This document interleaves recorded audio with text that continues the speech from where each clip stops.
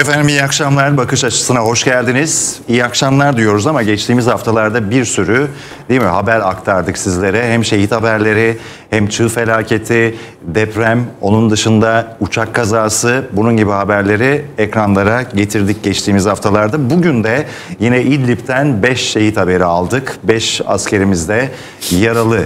Ee, Milli Savunma Bakanlığı'ndan açıklamalar geldi. 115 rejim hedefi ateş altına alındı ve 101 rejim unsuru etkisiz hale getirildi şeklinde. Önce İdlib'le başlayacağız ama konuklarımızı teker teker tanıtayım. Murat Kelkitlioğlu gazeteci konuğumuz Sayın Kelkitlioğlu hoş geldiniz. Hoş bulduk.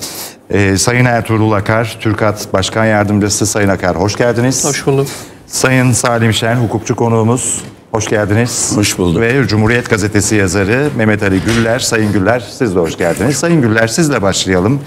Şimdi e, geçtiğimiz günlerde Cumhurbaşkanı Erdoğan'ın ilk şehit haberlerini aldığımız zaman 8 şehitten sonra çok net bir şekilde Rusya'ya aradan çekil saldırılarla ilgili muhatabımız rejim e, şeklinde sert sözleri vardı. Şimdi Erdoğan'ın rejime yönelik bu kadar iddialı sözlerinin arkasından ve misilleme yapılmasına rağmen bugünkü saldırıyı nasıl yorumlamak gerekiyor? Yani rejimin amacı ne? Rusya'nın amacı ne? Şimdi bu dakikalarda biliyorsunuz Rus heyetiyle de Ankara'da da toplantılar gerçekleşti. Evet. Şimdi bütün bunlara rağmen bugünkü saldırı ne anlama geliyor? İsterseniz onunla başlayalım. Evet. Bugünkü saldırının e, en kaba tarifini yaparsak aslında Senegal dönüşü Erdoğan'ın Moskova'ya ya ben ya Suriye diye e, sunduğu e, denklemde Moskova'nın Suriye'den yana hakkını kullandığı bir tablo ortaya çıkmış oluyor. Birincisi bu. İkincisi biliyorsunuz ilk e, az önce aktardığınız e, şehit haberini aldığımızda 3 Şubat'ta Erdoğan'ın bir gün sonra Putin'le yaptığı bir telefon görüşmesi var ve o telefon görüşmesinde e, bir kısmi uzlaşma olduğu anlaşılıyor. Bunu nereden anlıyoruz? O telefon görüşmesinden sonra Erdoğan özetle şunu söyledi. E, rejim ay sonuna kadar e, çeşitli aldığı bölgelerden geri adım atmazsa o zaman biz gereğini yaparız dedi. Kuşkusuz bu bir ultimatom gibi okunabilir ama aynı zamanda Putin'le ay sonuna kadar yapılmış bir anlaşmanın da e, anlamına geliyordu. Şimdi o uzlaşıdan sonra bugün tekrar e, benzer bir durumu e, yaşıyor olmamız e, biraz şunla ilgili. O varılan uzlaşmaya Moskova Ankara'nın uymadığını düşünüyor. Çünkü o tarihten bu tarihe Rusya ısrarla Dışişleri Bakanlığı da e, çeşitli açıklamalar yayınlıyor ve e, Türkiye'nin yaptığı sevkiyatları e, aktarıyorlar. Yani bu sevkiyatlar olduğu müddetçe varılmış uzlaşmaya uyulmadığı söyleniyor. Problemin koptuğu yerde burası. Çünkü Rusya artık şunu istiyor Türkiye'den. 17 Eylül 2018'de Soçi mutabakatı yaptık. Siz bu mutabakatın gereğini Türkiye olarak yerine getirmediniz. Bunun artık sabredilecek bir şeyi yok. İdlib'de sıkılışmış teröristleri bizim temizlememiz gerekiyor diye Ankara'ya e, bu konuda açık söylemişlerdi. Evet. Ankara'da aynı şekilde onlara söylüyor aynı şekilde e, ama. Herkes birbirini Soçi mutabakatını uymamakla e, suçluyor. E, fakat tabii bunu ölç nasıl ölçeriz? Soçi mutabakatının 10 maddesi var biliyorsunuz. O maddelere bakmak lazım. 17 Eylül 2018'de imzalanmış o anlaşmanın, o mutabakatın e, Türkiye'yi en çok ilgilendiren iki maddesi var. 5. ve 6. madde. Şimdi o 5. maddede der ki Türkiye silahsızlandırılmış bölge içerisindeki radikal teröristleri 10 Ekim'e kadar çıkarmak durumunda diyor. Şey 15 Ekim'e kadar. 6. maddede de Türkiye silahsızlandırılmış bölgeden ağır silahları 10 Ekim'e kadar çıkarmak durumunda diyor. Fakat e, bütün bunlar olmadı. Dolayısıyla aslında Soçi mutabakatı 16 Ekim 2018 günü boşa düşmüş oldu. Fakat o tarihten bu tarife tarihe olan şeyler var. Ee, mesela madde madde gidersek mesela Rusya Genel Kurmayı şöyle bir açıklama yapmıştı. 24 Nisan 2019'da. İdlib'de El Nusra güçleri e, güç topluyor. Bölgenin %9'u maalesef onların kontrolüne geçti deyip Ankara'nın Soçi mutabakatının gereğini yerine getirmesini istiyordu. Yine Putin'in özel temsilcisi Levrantyev'in açıklaması var. Türkiye'nin İdlib'de kontrolü kaybetmesi bizde hayal kırıklığına yol açtı diyor 26 Nisan 2019'da. Sonra Rusya Dışişleri Bakanı Lavrov İdlib'deki Nusra varlığını kabullenmeyeceğiz diyor 29 Nisan 2019'da.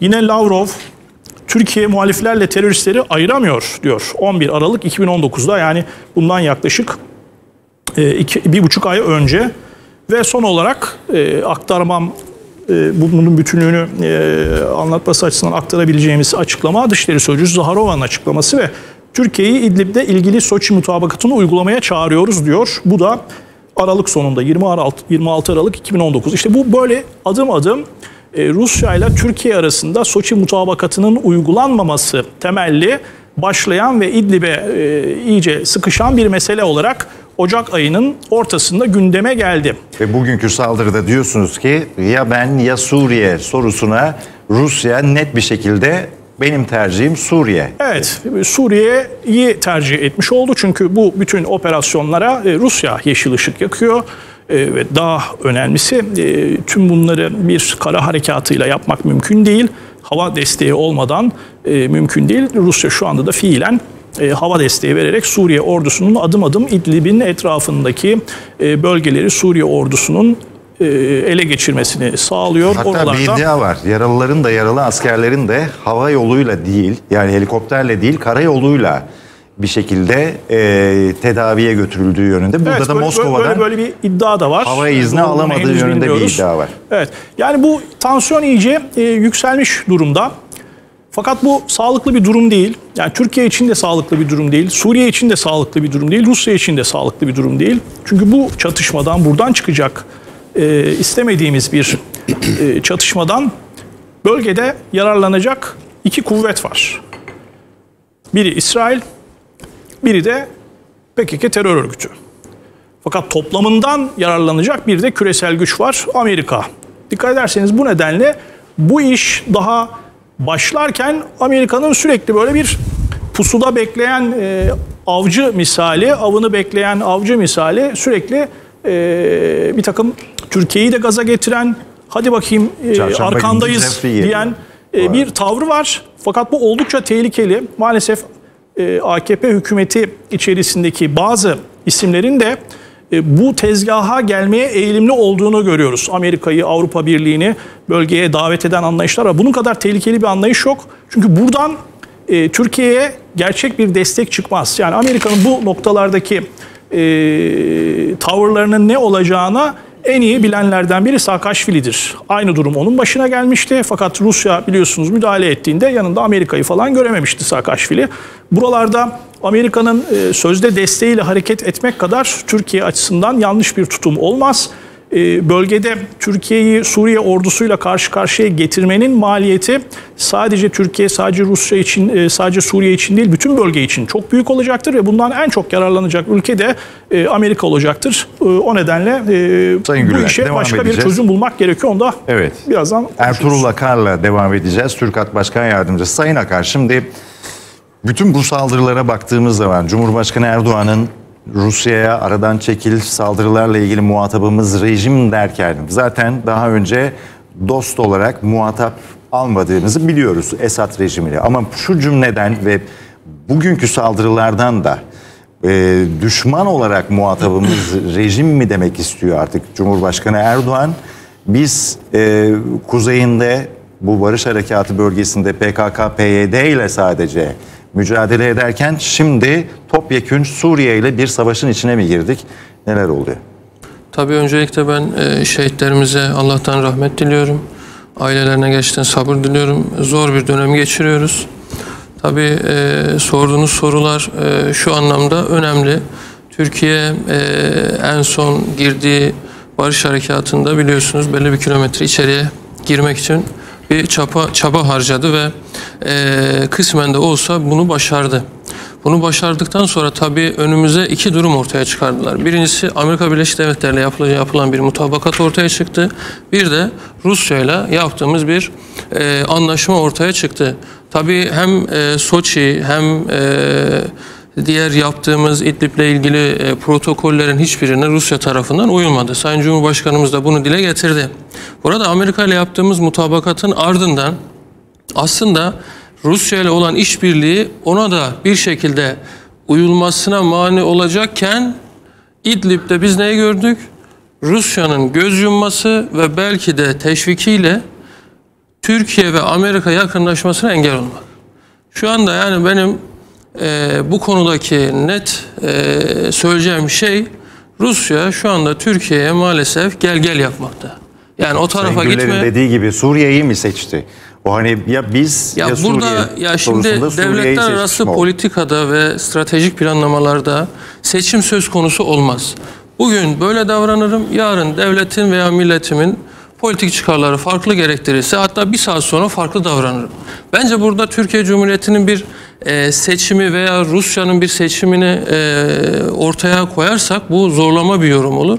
Çünkü bundan önceki süreçte gördüğümüz neydi? Rusya'nın tamamen Türkiye'nin yanında yer alması ve Amerika'ya karşı burada biliyorsunuz S-400'lerden başlayan bir sürü süreç var ve Suriye içerisinde hem Amerika'nın gücünü tamamen artık yitirmesi, bunun için yaptığı mücadele, bizim İran, Rusya ile yaptığımız işbirliği ama bugüne dönüyoruz bakıyoruz. Bu işbirlikleri yapılan mutabakatlar olayı nereye getirmiş? Rusya'nın tamamen e, kendi politik çıkarlarına göre davranmasını bize e, ortaya çıkarmış. Ha, bu durumda bugün Rusya bunu yaptı. Dün Türkiye'nin yanında yer alıyordu. Bu Türkiye için de geçerli. Ha, burada önemli olan şey şu. Biz bunu her zaman söylüyoruz. Türkiye ne yaparsa yapsın kendi politik çıkarları lehine davranmak zorunda. Hiçbir şekilde ne uluslararası kamuoyu ne de içerideki e, eleştirilere bakıp da sen dün işte bu Suriye ile ilgili bir eleştiri de vardı. İşte dün e, siz Esad'la dostunuz, bugün düşmansınız. Olabilir, bir saat sonra da düşman olabilirim. Kesinlikle devletimizin ne uluslararası kamuoyu ne de ulusal kamuoyu içerisindeki bu eleştirilere bakmadan devlet aklıyla bir saat sonra bile değişebilecek politika, çıkar, çıkarlı politika uluslararası anlamda konuşuyorum. Çıkarlı politika ilkesine göre kesinlikle her an saf değiştirebilir, her an politika değiştirebilir, esneklik ve rahatlıkla çalışması gerekmektedir. Ha, bizim burada şehitlerimiz var ve Rusya bir şekilde göz yumuyor. Türkiye Cumhuriyeti'nin burada yapması gereken tek şey var. İki kere iki dört. Kesinlikle Suriye rejimine karşı misliyle cevap vermek zorundayız. E ben şunu söylemek istiyorum açıkçası. Dünyanın neresinde olursa olsun bir Türk'ün kanı bir toprağa değdiyse orası vatandır. Siz İdlib'e yeni bir askeri harekat bekliyor musunuz? Kesinlikle bu gece itibariyle yapılması gerekiyor ve oranın yerle bir edilmesi gerekiyor. İdlib'in Çünkü yerle bir yerle bir edilmesi gerekiyor. Çünkü bu iki oldu, 10 tane askerimiz şehit oldu ve biz bu işin başından beri devlet olarak Suriye güçleriyle hiçbir şekilde sıcak temasa girmedik. Hiçbir şekilde rejimin askerlerini öldürmedik. Ama ne görüyoruz? Bizim 10 tane askerimiz bugün şehit oldu. Bunun bedeli ödetilmezse bunun devamı gelecektir. Ya bu noktada bu şehitlerin bedeli ödetilmeli. Suriye bizim ezelden vatanımızdı. Bugün bu Mehmetçiklerin kanı ile birlikte o topraklar ebedi olarak vatanımız olarak kalacak. Ha şu eleştirilere de kesinlikle ben katılmıyorum da devletin de devleti yönetenlerin de katıldığını düşünmüyorum. Bizim Suriye'de ne işimiz var sorusu geçmiştir. Biz artık oradayız. Şehidimizin kanı artık oradadır. Orası bizim ebedi vatanımız olacaktır. 82. mi il diyorsunuz? 82. olsun. 83 mü 83 ama oradan Türk askeri kesinlikle çıkmayacak ve o rejiminde oradaki her unsuru gerekse yerle bir edilecek. Bu işin başka çıkarı yok bütünlüğüyle ilgili söylenen şeyler artık geçti mi diyorsunuz? toprak bütünlüğüyle e, konuşulan şeyler benim askerim şehit edilmeden önceydi. Ben rejimin hiçbir şekilde kuvvetlerine müdahale etmezken, sıcak temasa girmezken bu söylenen şey tabii ki geçerli ama Türk'ün askerine veya herhangi bir Türk unsuruna bir kılına dahi zarar gelirse oranın yerle bir edilmesinden başka hiçbir çözüm yolu yoktur. Bu benim şahsi görüşüm. Peki, Sayın Şen'e soralım. Sayın Şen diyor ki Sayın Akar artık şehit veriyoruz bu ikinci oldu. Ee, İdlib ve girilmeli ve yerle bir edilmeli. Ee, gerekiyorsa değil mi 83. E, gerekiyorsa, vilayet olması ne gerekiyorsa yapılması bir gerekiyor. ütopik bir e, istek olabilir ama yani anlatmaya çalıştığım şey İdlib'de bedel ödetilmelidir. Bu- Bugün mesela 115 rejim hedefi ateş altına alındı. 101 rejim unsuru e, etkisiz hale getirildi dedi Milli Olmaz. Savunma Bakanlığı. Bu yetersiz gerekirse sürülmeleri gerekiyor. Olmaz. Çünkü yarın gene saldıracaklar. Peki Sayın Şen. Şimdi ben de tabii e, söze başlamadan e, aziz şehitlerin e, şehitlerimize Allah'tan rahmet diliyorum. Milletimizin de başı sağ olsun. Başta silahlı kuvvetlerimizin de. E, acı tabii yani 2 2 Şubat'ta sanıyorum değil mi? 3. 3 Şubat mıydı? 3 Şubat'ta İlk olayı, ilk ilk, operasyon. ilk 8 şehit şehit, şehit. işte bugün de 5 şehit verildi. Dediğim gibi Allah'tan hepsine rahmet diliyorum. Ya tabii bu mevzu m, hamasetle açıklanacak bir mevzu değil. Yani burada çok soğukkanlı ve sağduyulu olmamız gerekiyor. Çok doğru analizler yapmamız gerekiyor.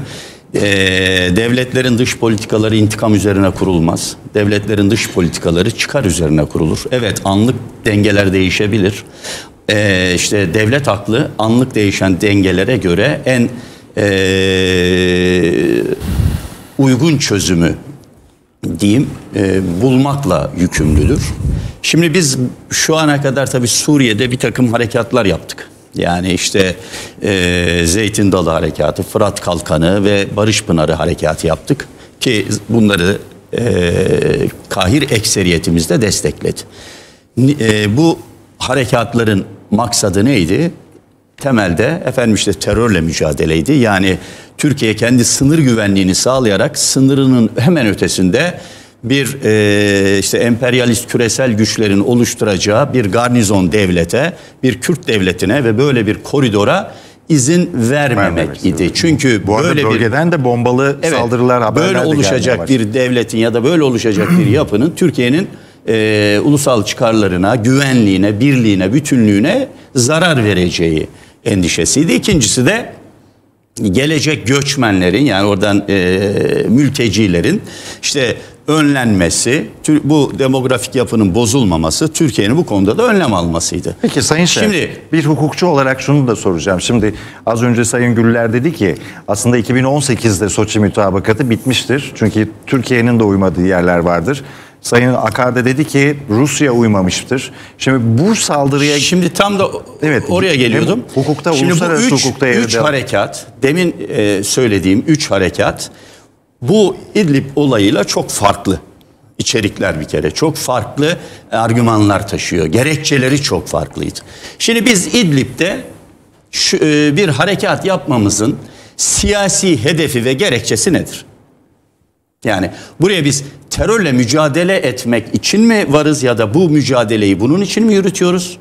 Buna olumlu cevap vermek mümkün değil. Çünkü burada zaten PKK yani PYD yok. Buradaki terörist unsurlar aslında tam da işte HTŞ denilen yani Türkiye'nin de Amerika'nın da Birleşmiş Milletler'in de terörist olarak kabul ettiği ve Soçi mutabakatı ile bunların temizlenmesi görevini üstlendiğimiz unsurlar. Yani burada böyle bir diğer harekatlardaki gibi e, terörle mücadele şeyimiz yok. O bağlamda bir eylemimiz yok ki bugüne kadar da olmadı. E, ikincisi Suriye'nin toprak bütünlüğü idi bütün derdimiz. Yani bunu bir devlet politikası olarak da ortaya koyduk. Suriye'nin toprak bütünlüğü Türkiye açısından çok önemlidir. Şimdi Suri- Suriye'nin toprak bütünlüğünün çok önemli olduğu bir argümanda e, İdlib'in mevcut durumda Suriye'nin kontrolünün dışına çıkarılması ya da bunun için bir faaliyet gösteriyor olmamız bu temel politikayla bir kere çelişiyordu. Ve halen de çelişiyor. Yani dolayısıyla gözlem noktalarından aşağıya işte ay sonuna kadar Suriye rejimine süre veriyoruz. O toprakları boşaltın demek çok anlamlı bir şey değil. Çünkü adamın ülkesi. Kendi toprakları. Bütün bunlara baktığımızda yani Soçi mutabakatı Türkiye'ye bir yükümlülük işte az önce sizin de söylediğiniz gibi yüklemişti. Neydi? En önemlisi e, Mehmet Ali Bey'in de söylediği gibi az evvel buradaki işte bu e, radikal, dinci, terörist unsurların ağır silahlardan arındırılması, sonra bunların ılımlı muhaliflerden temizlenmesi ve 2018 yılı sonuna eee, kadar da işte bu bölgenin tamamen bunlardan arındırılmasıydı. E şimdi bunların hiçbirisi yerine getirilmedi. Dolayısıyla Soçi e, mutabakatı fiilen 2018 yılı sonunda zaten Boşa düştü. boşa düşmüştü. Ha bugünkü tabloyla tamamen ortadan kalkmıştır. Bu çatışma haliyle de tamamen ortadan kalkmıştır. Şimdi burada yani milli hedefimizin buradaki milli politikanın yani siyasi hedefin ne olduğu açıkça ortaya konmalı. Şimdi Evet, biz peki askerler bu mutabakatlar ortadan kalktıysa bu üç ülke veya Rusya ile Türkiye arasındaki bu mesele bundan sonra hangi haritaya yeni göre ilerleyecek? yeni bir mutabakat yapılması zorunluluğunu ortaya koymuştur. Onun için şu anda. askeri güçle Şimdi bakın askeri lazım. ben şimdi bir askeri eğitim almış birisi olarak söyleyeyim yani bir harp okullu olarak askeri hedefler politik hedeflerin gerçekleştirilmesine yöneliktir. Siyasi ve politik hedefi e, devlet koyar, iktidarlar koyar. Asker bunu planlar ve gerçekleştirmeye çalışır. Şimdi ben bunu Önce soruyorum. siyasi hedef sonra askeri. Evet tabii ki önce siyasi hedef. Sayın Akar siz önce Şimdi burada. Değişen- değişen- değişen- Mesela Libya'da da özür dilerim aynısı olmadı mı? Yani biz oraya asker değişen- çıkarmasaydık bugün yaptığımız mutabakat boşa düşecekti. Şimdi değişen hedefi de siyasi irade belirler. Yine siyasi hedef konur. Değişen duruma yönelik asker buna yönelik bir askeri hedef belirler. Askeri hedefleri belirler, onu gerçekleştirir. Şimdi İdlib'deki siyasi hedef ne? Nedir? Yani biz bunu şimdi tartışmamız gereken bence en temel şeylerden birisi bu. Ya çünkü oraya bir yığınak yapıyoruz. Çok ciddi bir yığınak yapıyoruz. Bunun adı ee, yani birbirimizi kandırmayalım. Bu bir savaşın ilk halleridir, ilk aşamasıdır. Buna biz e, askeri literatürde e, gerginliğin tırmandırılması denir. Yani bu o işte Türk e, Silahlı Kuvvetleri unsurlarının e, rejim obüslerince bu şekilde ateş altına alınması, o konvoyun e, taciz edilmesi konvoyların bu hep gerginliğin tırmandırılmasıdır. Türkiye'nin oraya bir yığınak yapması bir savaşın ilk aşamasıdır. Şimdi o zaman İdlib'deki siyasi hedefin ne olduğunu anlatmamız gerekiyor. Biraz önce söylediğim gibi bir, Suriye'nin toprak bütünlüğünü sağlamak ise bu amaca hizmet etmeyecektir. Çünkü tam tersi bir hedef gösteriyoruz. Suriye rejime diyoruz ki güneye in bu bölgeyi boşalt. Rusya'ya diyoruz ki sen karışma. Bunun gerçekleşebilme ihtimali sıfır kadar yoktur. E çünkü rejimin arkasında Rusya'nın olduğu bu harekatı Rusya'nın asker, e, askeri e, yönlendirmesiyle e, Rus Silahlı Kuvvetleri'nin komutasında yapıldığı çok açık ve belli. Bakın ne ilk harekette, ilk e, şehit edilme olayında ne şimdi ne Putin'den ne Rusya'dan herhangi bir kınama, başsağlığı ya da e, bunu eleştiren bir açıklama gelmedi tam tersine. Tam tersine neredeyse bunu desteklediler. Şimdi demek ki toprak bütünlüğüne yönelik bir eylem değil. E bir terörist unsurları temizlemek olmadığı açık. Çünkü Türkiye hakikaten As, e, Soçi zirvesiyle üstlendiği oradaki radikal İslami unsurları da temizlemiş değil. Zaten buradaki bütün terörist unsurlar da onlar. Burada YPG'de yok, PYD'de yok. Radikal Şimdi- İ- İslami unsurlar derken orayı biraz. Nusra- Nusra. El Yani yeni Nusra'nın, El. Kaide türevi, El Nusra e, benzeri ya da onun yeni Ama ismiyle hem Heyet Tahrir Türkiye, Şam denilen hem Türkiye hem Esad hem Rusya hem Birleşmiş Milletler bir kere HTŞ'nin terör örgütü olduğu konusunda Ha, hep bir tek bir tek şu anda e, Amerika çok net açıklamalar yapmıyor. Çünkü durumdan vazife çıkartır. Bu konuda katılıyorum. En karlı ve şu anda oyunu en tehlikeli oynayan Amerika'dır şu an itibariyle. Biliyorsunuz hemen e, Cefri açıkladı yani ben Erdoğan'a söylemiştim Putin'e güvenilmez. Bak bu konuda Türkiye'nin tamamen arkasındayız. İşte çarşamba günü gelmesi Çarşamba de günü manidardır. Ki e, Türkiye'yi destekliyoruz. Buradaki bir sıcak çatışmayı Amerika'nın destekleyeceği, desteklemek istediği ve bu çatışmadan türlü menfaatler devşireceği çok açık. Yani ne yapacaktır? Bir, Türkiye ile Türkiye'nin ya da İdlib'de rejimle ya da Rusya'yla bir şekilde karşı karşıya sıcak bir çatışmaya gir, girmesi ve bunu Amerika'nın arkalayarak Türkiye'yi desteklemesi Amerika'nın PYD YPG politikasına Türkiye'nin ses çıkaramaması sonucunu doğuracaktır. Bir. İki, Amerika öteden beri burada radikal e, işte IŞİD gibi, HTŞ gibi bir sürü terör örgütlerini gizli gizli destekleyerek burada 30 yıl, 40 yıl, 50 yıl sürecek siyasi istikrarsızlıkların temelini atacağı, bunun devamını istediği bir Afganistan benzeri bölgeyi iyice istikrarsızlaştırarak kolayca yönetebileceği son hedefi itibariyle de İsrail'in bu şekilde güvenliğini sağlayacağı çok açık. Yani Şimdi geriye, ki geriye siyasi Fırat'ın- hedef Fırat'ın batısındaki bu bölge İdlib temizlenirse deniliyor ki Suriye'deki iç savaşta zaten biter. Şimdi- yani Amerika bunu mu istemiyor ki? Tabii bu ki istemiyor. sonra Tabii ki istemiyor. Amerika burada rejimin e, İdlib kuzeyine kadar olan bu bölgede özellikle M- M4 ve M5 karayoluna tamamen hakim olarak bölgede iktisadi anlamda da e, kalkınmasını, orada bir bütünlüğü sağlamasını, e, İran politikası yani İran-Suriye işbirliğini de dikkate alarak bunların e, nihai hedef olarak İsrail'in güvenliğinin sağlanması hususunda bir handikap teşkil edeceğini biliyor. Sayın. Şimdi üçüncü siyasi hedef burada bir olması gereken e, mültecilerdir. O mültecilerin önlenmesidir. Oraya- oraya geleceğiz Şimdi eğer ama. buysa bakın eğer buysa ki bu olması gerekiyor. Türkiye açısından şu anda oradaki en büyük tehlike. E bunun için bizim İdlib'e, işte Serakib'e, işte ta karayollarının güneyine kadar inip oralarda askeri çatışma yapmamız o politik hedefi sağlamaya yönelik bir e, eylem olamaz.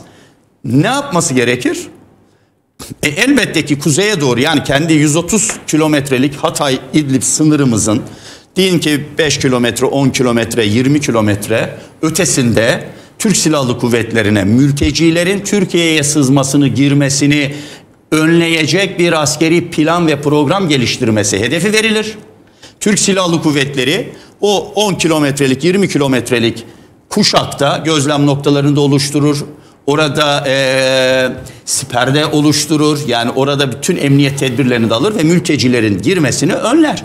E o oradaki şey unsurların e, terörist unsurların temizlenmesi Türkiye'nin de görevi olmamalıdır. Sayın Niye benim Mehmetçiğim orada şehit olsun? Devam edeceğiz ama Sayın Kerkitlioğlu'na da bir söz verelim. Sayın Kerkitlioğlu, yani Türkiye İdlib'de sizce yani tam olarak ne istiyor?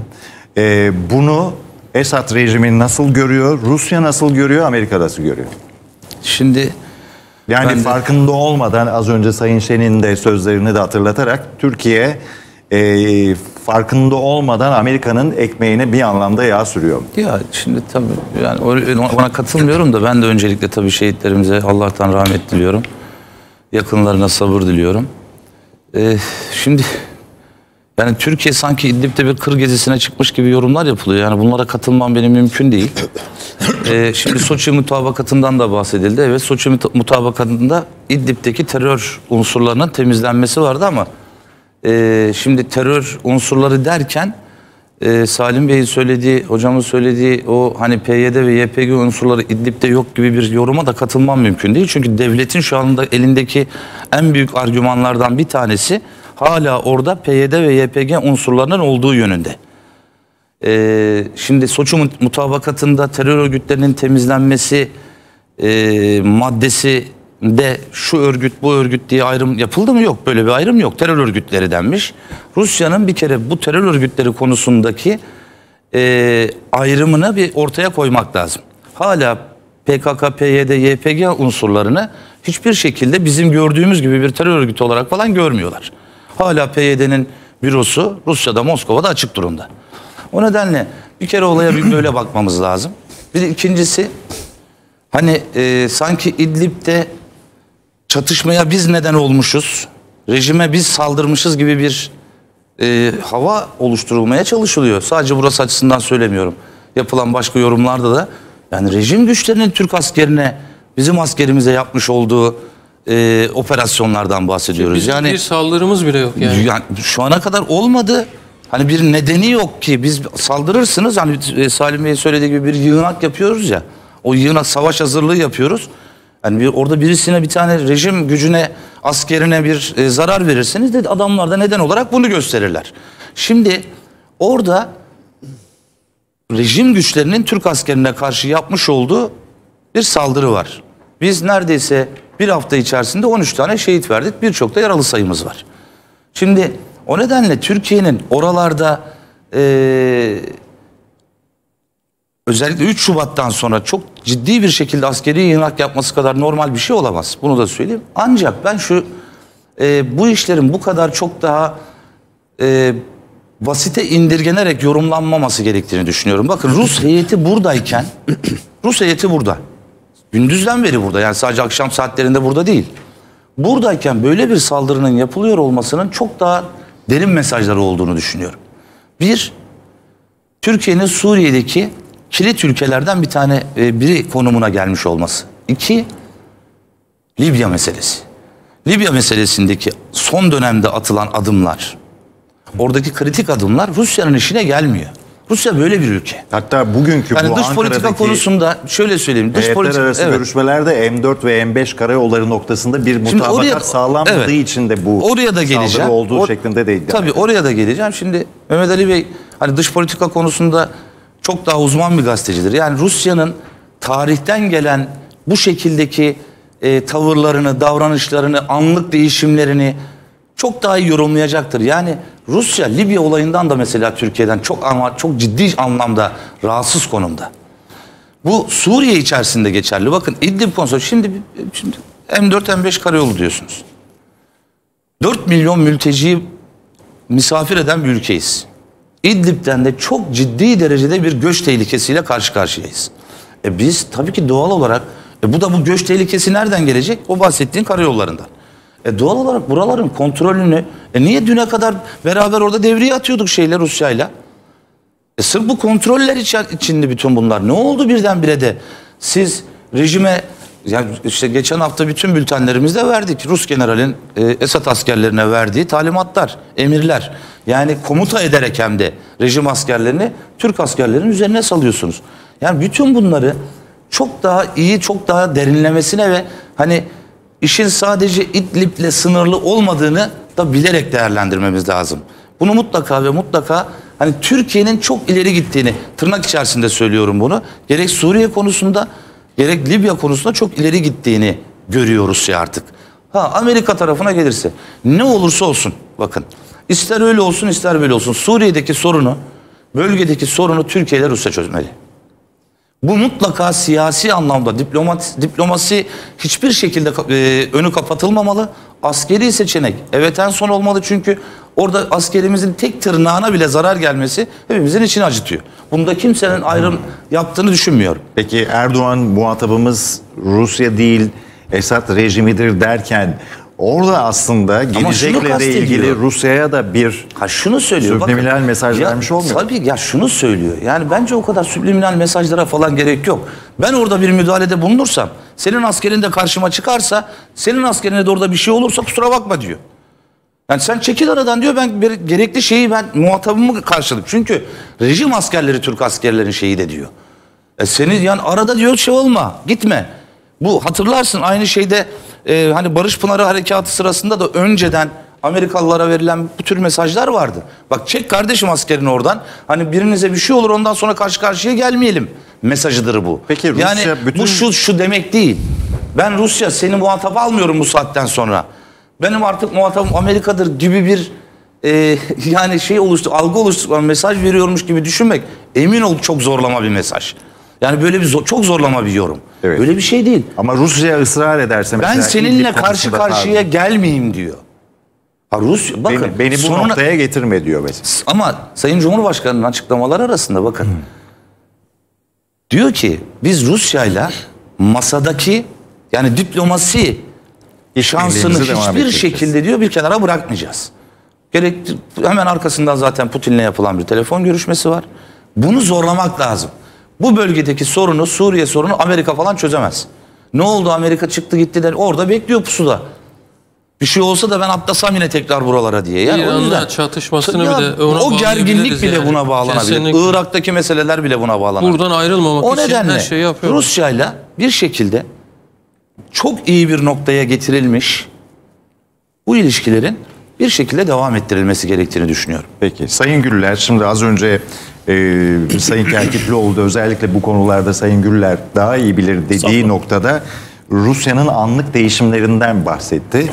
Sizce Rusya bütün bu süreç boyunca anlık bir değişim gösteriyor mu? Öncelikle onu sorayım. İkincisi e, bir de deniliyor ki e, bu İdlib krizi çözülmeden önce bölgede bulunan herkes yarın Suriye'nin geleceğinde söz sahibi olmak için bazı adımlar atıyor.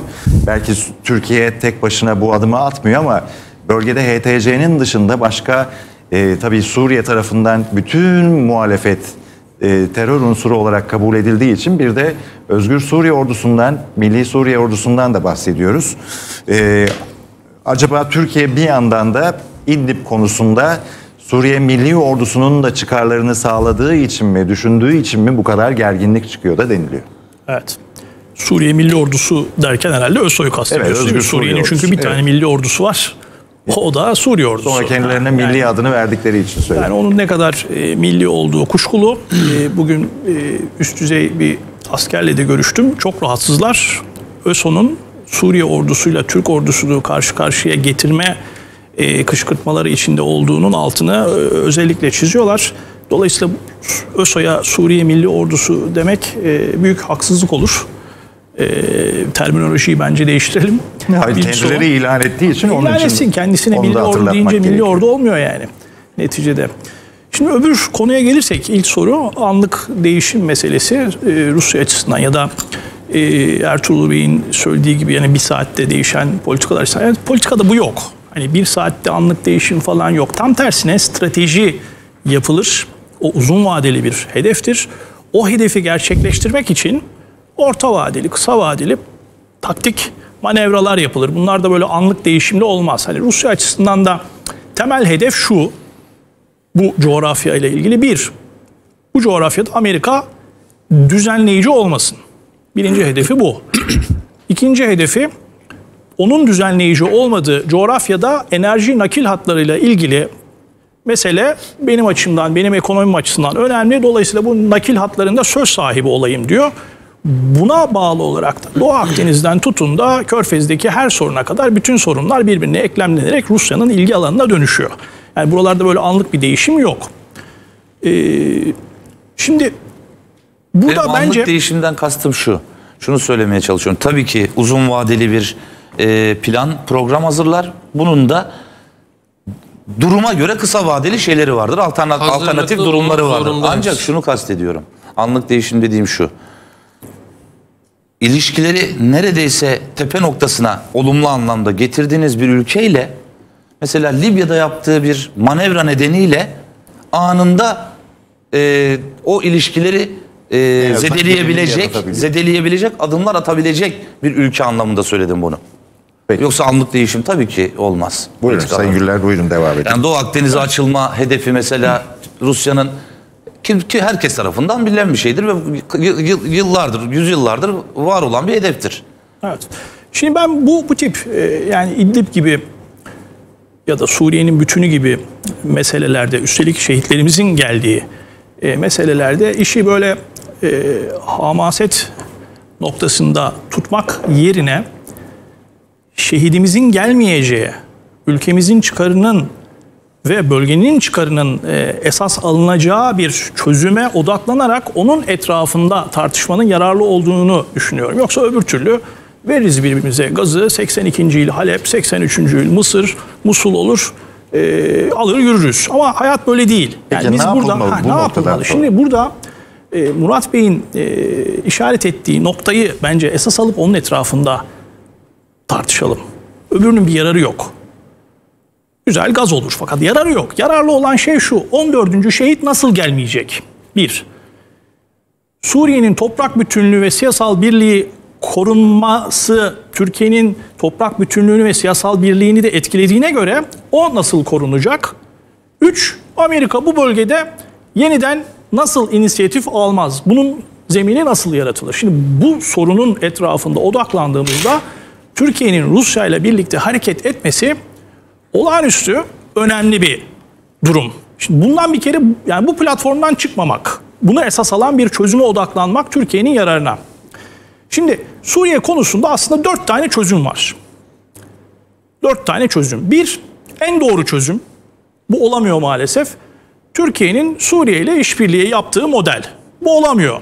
En doğrusu bu. Doğrusu ondan biraz daha geride olan, daha doğrusu Rusya ile işbirliği yaparak meseleleri çözmeye çalışmak. Yanlışlar cephesinde de iki tane var. Bir, Türkiye'nin haldır huldur burada ÖSO koridoru kurmak, fetih yapmak, burası benim vatan toprağımdır deyip doğrudan Suriye ordusuyla savaşı esas aldığı bir çizgi. Bu yanlış ama bundan daha da yanlışı var. Bundan daha yanlışı da Amerika'nın gazına gelip yeniden Amerika ile Suriye'yi parçalamaya yönelik ittifaklar aramak ki o bizi yeniden PYD devletini tanıma noktasına götürecek bir riskler taşıyor. Şimdi bu dört tane çözüm var. Şimdi bu dört çözüm içerisinde bir kere baştan şu iki tane yanlışı eleyerek en doğruyla doğrunun yürütülebilirliği üzerinde konuşmak lazım. Orada da şimdi elimizde daha pratik tutulabilecek halka çünkü maalesef bu hükümetin e, yaklaşımları nedeniyle Suriye e, yönetimiyle işbirliğini e, henüz oluşturamıyoruz. Dolayısıyla ondan kopmamak üzere Rusya ile işbirliği modelini ayakta tutan bir anlayışı hakim kılmak gerekiyor. Yani Astana platformu. Astana platformu çok değerli. Şimdi bunu Türkiye'de ne kadar önemli olduğu maalesef görülmüyor. Bunun ne kadar önemli olduğunu Amerika görüyor. Hatırlayın James Jeffrey ısrarla ve ısrarla kaç demecinde Astana platformunun dağıtılması gerektiğini, Türkiye'nin bu platformdan çıkması gerektiğini söyledi. Daha Neydi ötesini önemi? söyleyeyim. Çünkü hep Soçi ile de karıştırıyor izleyiciler. Önemi şu, bakın Türkiye'nin bölgede İran ve Rusya ile birlikte hareket etmesi demek, Amerika'nın bu bölgede inisiyatif alanının daralması, ne oyun bozabilir pozisyonda olabilmesi ne de oyun kurabilir pozisyonda olabilmesi demek. 30 yıllık burada e, başlatmış olduğu 1990 yılındaki bir takım işleri var Amerika'nın. Bunların yürütülememesinin zemini Türkiye'nin İran ve Rusya ile e, ittifak yapması demek. Bu üç ülke yan yana geldiği zaman ki bu geliştirilecek e, Astana platformu daha. Bu üç ülke yan yana geldiği zaman hiçbir emperyalist tehdit bu bölgede bu coğrafyaları yeniden dizayn edebilecek kudreti bulamayacak kendisinde. İşte Amerika da bunun çok farkında ve o yüzden ısrarla ve ısrarla Türkiye'nin İran'la, Türkiye'nin Rusya'yla e, bir takım e, aralarında problem olmasının pusuna yatmış şekilde bekliyor. Dolayısıyla biz Astana platformunu esas alan bir çizgiye dönmemiz gerekiyor. Niye bunu söylüyorum? Toplantı yapılacaktı galiba Tahran'da ama İran'daki bu meseleler yüzünden değil mi? Erteledi, ertelendi. En son İstanbul'da üç lider bir araya yine, gelmişti. Yine, yine yapılacaktır. Ben yani son tahlilde şunu e, düşünüyorum. E, kuşkusuz 13 şehitimiz Türkiye'nin e, başı sağ olsun. Milletimizin başı sağ olsun. Büyük acı. Fakat buna rağmen buradan ben yine de böyle hani yakın planda bir büyük savaş görmüyorum. Türkiye henüz bu kadar bölgenin yangına dönüşmesine neden olacak kadar bir devlet aklından çıkmış değil. Bu yararlı değil çünkü Türkiye bunun bir getirisi yok. E, Ben hala şu noktadayım. Türkiye bir şekilde e, Şubat sonuna kadar kaslar biraz gerilecek. E, Putin'le Erdoğan arasında biraz sinir harbi yaşanacak. Fakat e, Moskova açısından da Türkiye'yi kaybetmek e, çok büyük risk. Ankara açısından da Moskova'yı kaybetmek çok büyük bir risk. E, akıl sağduyunun e, hakim hale gelip e, bu noktada Ankara ile Moskova'nın yeniden e, uygun bir e, zemin bulup bu meseleyi hal yoluna sokacağını düşünüyorum. Benim açımdan da hal yolunun birinci yanı şu. Bizim İdlib'de olmamızın hiçbir siyasi e, anlamı yok. Hiçbir siyasi anlamı yok. Bizim Suriye'de bulunmamızın bir tane temel hedefi var. O da Amerika'nın o bölgede kurmak istediği terör koridorunu engellemek. Ha onu da biz Zeytin Dalı, Fırat Kalkanı, Barış Harekatı vesaire bunlarla yaptık. Ha bunun daha doğrusu aslında hiç bu harekatlara bile kalmadan Suriye ile işbirliği yaparak Suriye'nin yeniden gelip o topraklarda egemen olmasını sağlamaktı. Hadi bu olmadı. Fakat bu üç operasyonla engellediğimiz terör koridoru durumu var. Şimdi bunun üzerine İdlib'e gidip orayı fetheden bir anlayışa büründüğümüz zaman bunun maliyeti çok büyük. Bunun maliyeti e, öyle e, kaldırılacak gibi değil. Buradan dönmek lazım. Çeşitli askeri görüşlerin özeti de şu, onu da söyleyeyim. E, görüştüğüm askerlerin özeti, e, söylediklerinin özeti. Bizim zaten 12 tane gözlem noktamız e, bir sıkıntı. Şöyle bir sıkıntı. Bu zaten Türk Silahlı Kuvvetleri'nin çok da olmasını istediği gözlem noktaları değildi. Bir de somut, somut ki- bilgi söyleyeyim. Somut bilgi söyleyeyim. Bu gözlem noktalarına Milli Savunma Bakanı Bakanlığı da Türk Silahlı Kuvvetleri de karşı çıktı. Fakat bunda Sadat ve ekibi diretip e, maalesef sarayda Cumhurbaşkanı'na bunu kabul ettirmiş oldular. İşte o gözlem noktalarının Ha, en önemli gözlem noktalarıyla ilgili de gözlem noktalarıyla ilgili de askerlerin görüşü şu. 20 Hızla hızla güneydeki e, en azından 4-5 tane gözlem noktasını hızla yukarıya taşımak. İdlib'den bölgemize, sınırımıza yapılacak bir e, sınır e, zorlayacak bir e, göç meselesinde de bu gözlem noktalarını yukarıya çekip oralarda Rusya'yla da işbirliği yaparak tutmak. Ama Şimdi hiçbir öbür türlü şekilde başka bir sorun olacak. deniliyor. Bir de 25 yanlış. 40 bin gibi bu HTŞ unsurlarının ya da radikal e, İslamcı grupların bu göç dalgası içerisinde Araya sıkışacak gelecek Türkiye'ye endişesi tabii. nedeniyle yani bir sürü birbirine zincirleme bağlı sorun var. Yani biz bu sorunu e, olması gerektiği gibi çözmezsek çözdüğümüz sandığımız sorun ileride bize başka türlü problemlere yol açacak. 36 bin olduğu söyleniyor HTŞ üyesinin. 36 bin HTŞ üyesinin bırakın ot- 30'unu 6 bininin bir şekilde Türkiye topraklarına girdiğini düşünün. İleride hepsi kullanıma açık, kullanıma müsait. Bunlar paralı asker. Parayı çok verenin işini görecek e, kişiler bunlar. Peki Sayın Akar siz az önce dediniz ya yarın hemen bugün belki de İdlib'e girilmeli bir askeri seçeneği diğerlerinden önde tutmak gerekiyor Tabii diyorsun. benim bu konuştuklarımın hamaset olarak değerlendirilmesi acı bir durum. Bir Türk olarak ben bunu gerçekten hayretle izliyorum. Tabii e, şunu vurgulamak istiyorum. Tabii ki Türkiye büyük bir devlet. Asırlık, asırların devleti. Temel politikamız var. Her konuda olduğu gibi. Ama bu temel politika bizim milli çıkarlarımıza dokunulana kadardır. Ben temel politikayı ortaya koyacağım. Hiçbir şekilde sıcak temasa dahi girmediğim bir devletin unsuru gelecek benim askerimi şehit edecek. Ben sırf şehit gelmesin diye hem Türk devletinin orada onurunu bırakacağım hem de Türkiye'nin milli çıkarlarını göz ardı edeceğim. Böyle bir şey olamaz. Devlet gerekirse şehit vererek büyür. Türkler tarih boyunca şehit vererek, ölerek büyümüşlerdir. Bunu biz kendimize niye kabul ettiremiyoruz? Bu hamaset değildir. Bu bizim genlerimizin ve tarihimizin gerçekleridir. Şimdi anlık değişmez politika diye bir şey yok. Strateji ayrı bir şeydir, politika ayrı bir şeydir. Siz devlet olarak 100 yıllık bir strateji planlaması yapabilirsiniz. Ama bu planlamayı vücuda getirirken politikalarda konjöktüre göre değişikliğe gitmek zorundasınız. Bu bir saatlik de olabilir.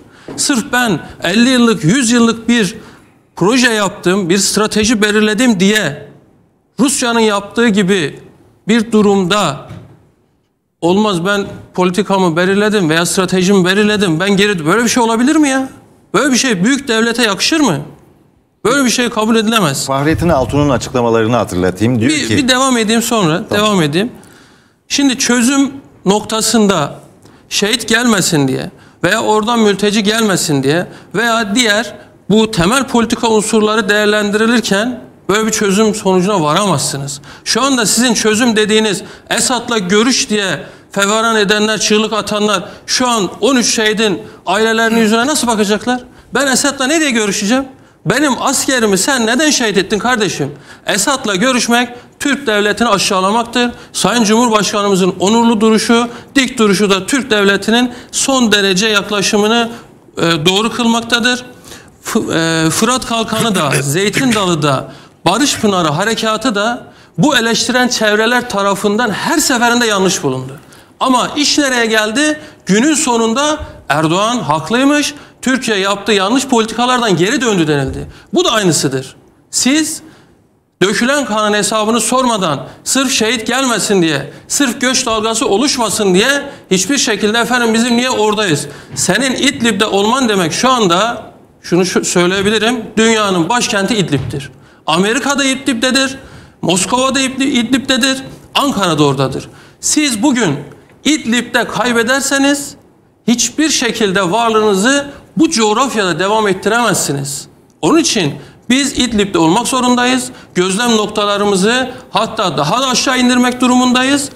Üstadın dediği gibi de burada Sayın Cumhurbaşkanı'nın Rusya'ya sen çekil muhatabım değilsin demesi Suriye'yi muhatap aldığı anlamına gelmez. Aynı Amerika'da e, diğer e, hareketler gibi Amerika'ya uyarısını yapıyor. Kardeşim ben gereğini yapacağım. Karşıma da çıkarsan artık yanlışlık da olmuş olacak. Bunun uyarısıdır. Biz baştan çözümümüzü böyle buluyoruz. Bir reklam arasına gideceğiz ama sizin dediğiniz şeyde Esad'ın geçtiğimiz yıl Ekim ayında İdlib'deki operasyon için Suriye'nin tümündeki kaos ve terörü sonlandırmanın anahtarı olarak dediğini de bir kere daha hatırlatalım. Kısa bir reklam arası sonra devam edeceğiz.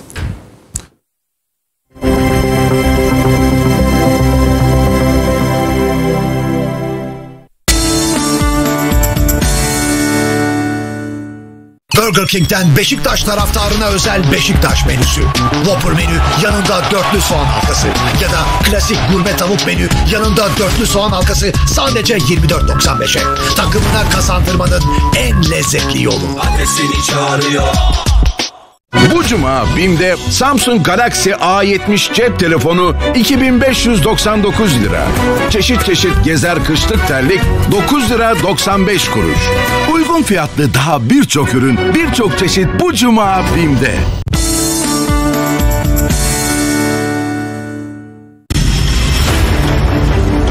İdlib'de rejim güçlerinin saldırıları devam ediyor. Ardı ardına gelen şehit haberlerinin ardından Türkiye'nin hamlesi ne olacak? Bunlara karşı sessiz kalmamız mümkün değil. İdlib krizini çözümsüz kılan asıl neden ne? Türk Silahlı Kuvvetleri'nin İdlib'de etkinliği ve gözlem noktalarının güvenliği konusunda hangi adımlar atılacak? Suriye'nin geleceği için sahadaki küresel güçler hangi senaryoları planlıyor?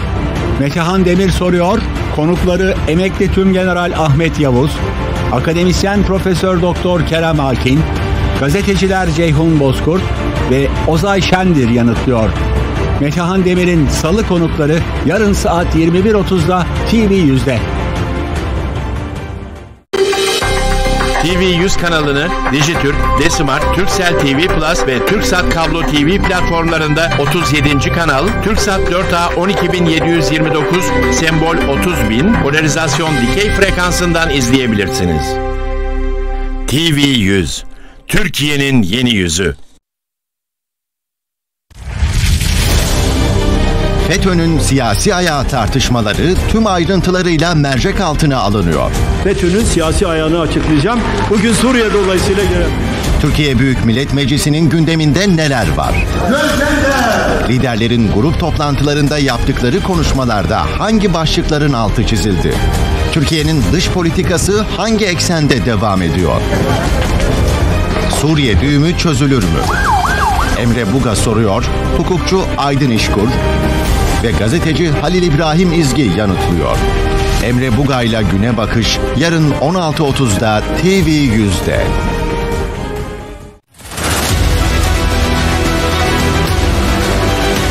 İdlib operasyonları boyut mu değiştiriyor? Sınır ötesinde neler oluyor? Adalet sisteminin gündeminde hangi başlıklar ön plana çıkıyor? İşverene sicil affı mı geliyor? Özel sektörün borçlarına ne olacak? İşsizlik rakamları açıklandı. Halkın gündeminde ekonomi var. Vatandaş 2020'den ne bekliyor? Cumhurbaşkanlığı hükümet sistemi sokakta nasıl karşılık buluyor? Artık Cumhurbaşkanlığı hükümet sisteminden geriye dönüş yoktur.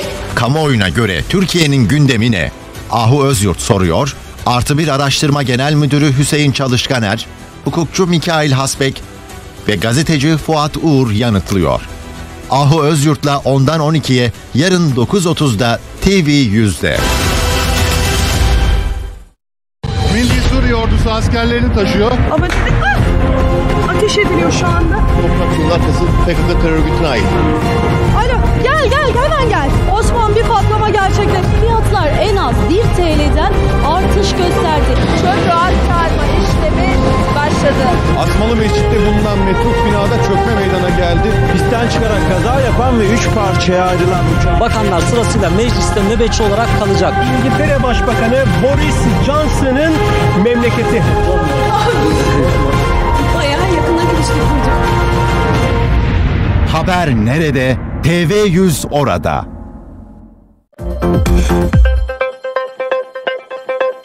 Doğru, tarafsız, hızlı, kaliteli haberler.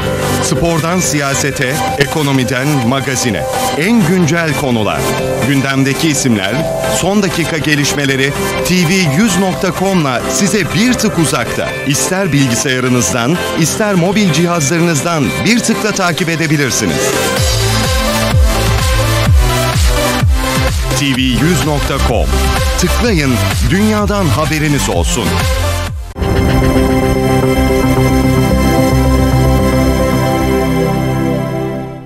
Efendim bugün de 5 şehit verdiğimiz 5 askerimizin yaralandığı İdlib'le ilgili son gelişmeleri konuşmaya devam ediyoruz. Salim Şen'le hukukçu konuğumuzla konuşacağız. Ee, Fahrettin Altun'un bir açıklaması var. Diyor ki e, bunu sadece Türkiye'ye yönelik değil uluslararası güçlere de dünyaya yönelik bir saldırıymış gibi kabul etmemiz gerekiyor dedi Fahrettin Altun. Bir kere bunu e, nasıl değerlendirdiğinizi soracağım. İkincisi NATO'nun da desteği, uluslararası güçlerin de desteği bu bölgede olması gerektiği konusunda özellikle Cumhurbaşkanı Erdoğan'ın ve diğer hükümet kanadından yapılan açıklamalarında olduğunu biliyoruz. Bu e, bugün de tekrarlandı.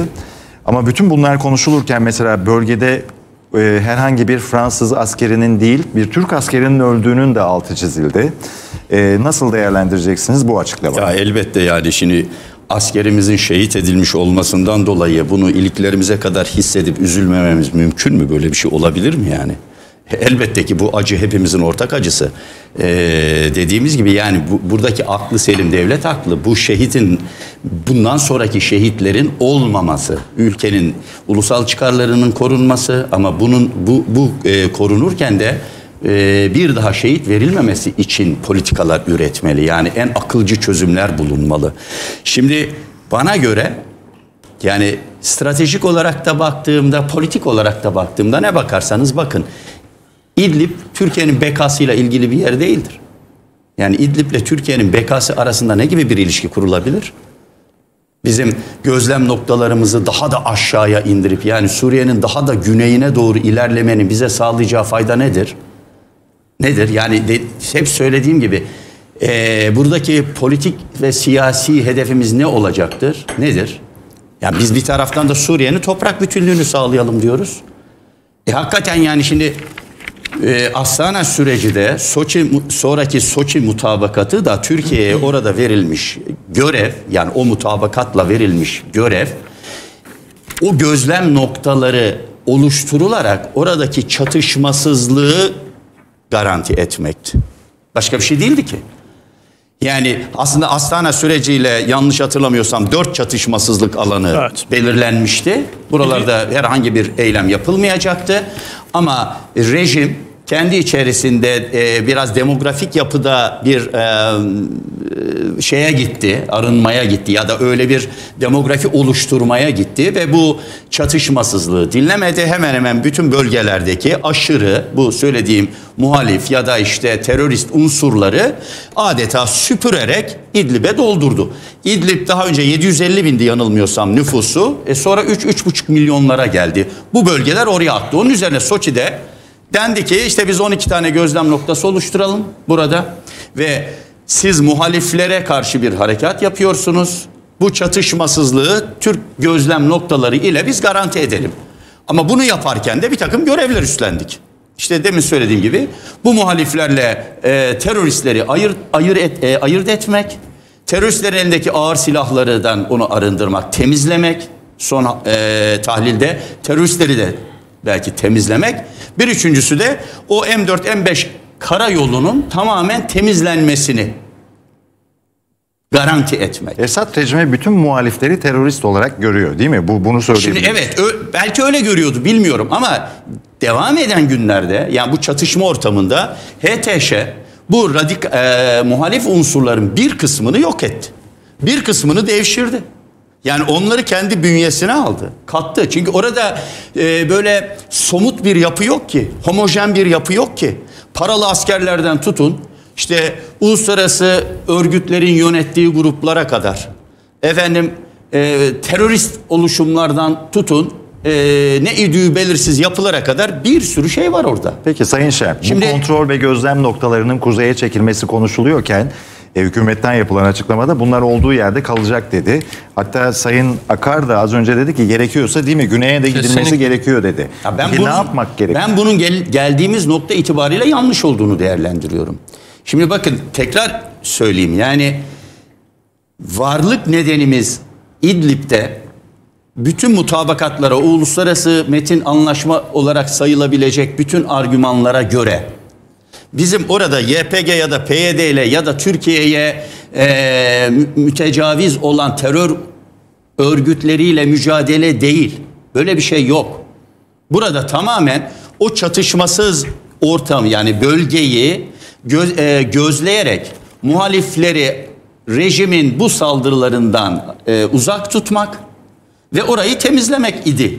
Yani aslında bir yerde örtülü olarak baktığımızda Suriye rejiminin ülke bütünlüğünün sağlanması hususundaki bir mutabakattı Astana'da, Soçi'de. Çünkü Rusya'nın öteden beri hedefi Suriye'nin ulusal bütünlüğünü yani milli bütünlüğünü, toprak bütünlüğünün sağlanması ve garanti edilmesi. Sadece bu mu üstadım?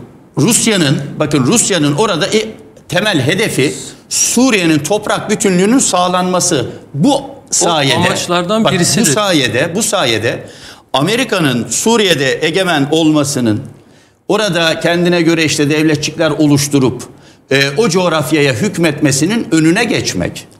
Rusya'nın nihai hedefi bu. E Türkiye'nin de uzun vadeli he- hedefi budur.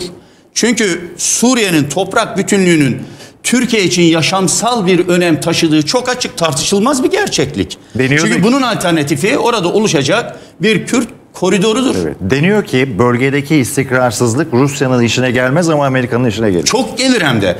Ve Amerika'nın temel hedefi o bölgeyi istikrarsızlaştırmaktır. Büyük Ortadoğu projesi de buydu zaten.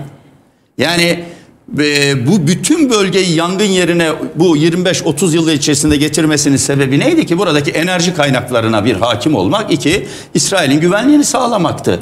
E bunun önündeki en büyük engel hedef gördüğü o ülkelerin toprak bütünlüğünü ve oradaki rejim güvenliğini sağlamış olmaları.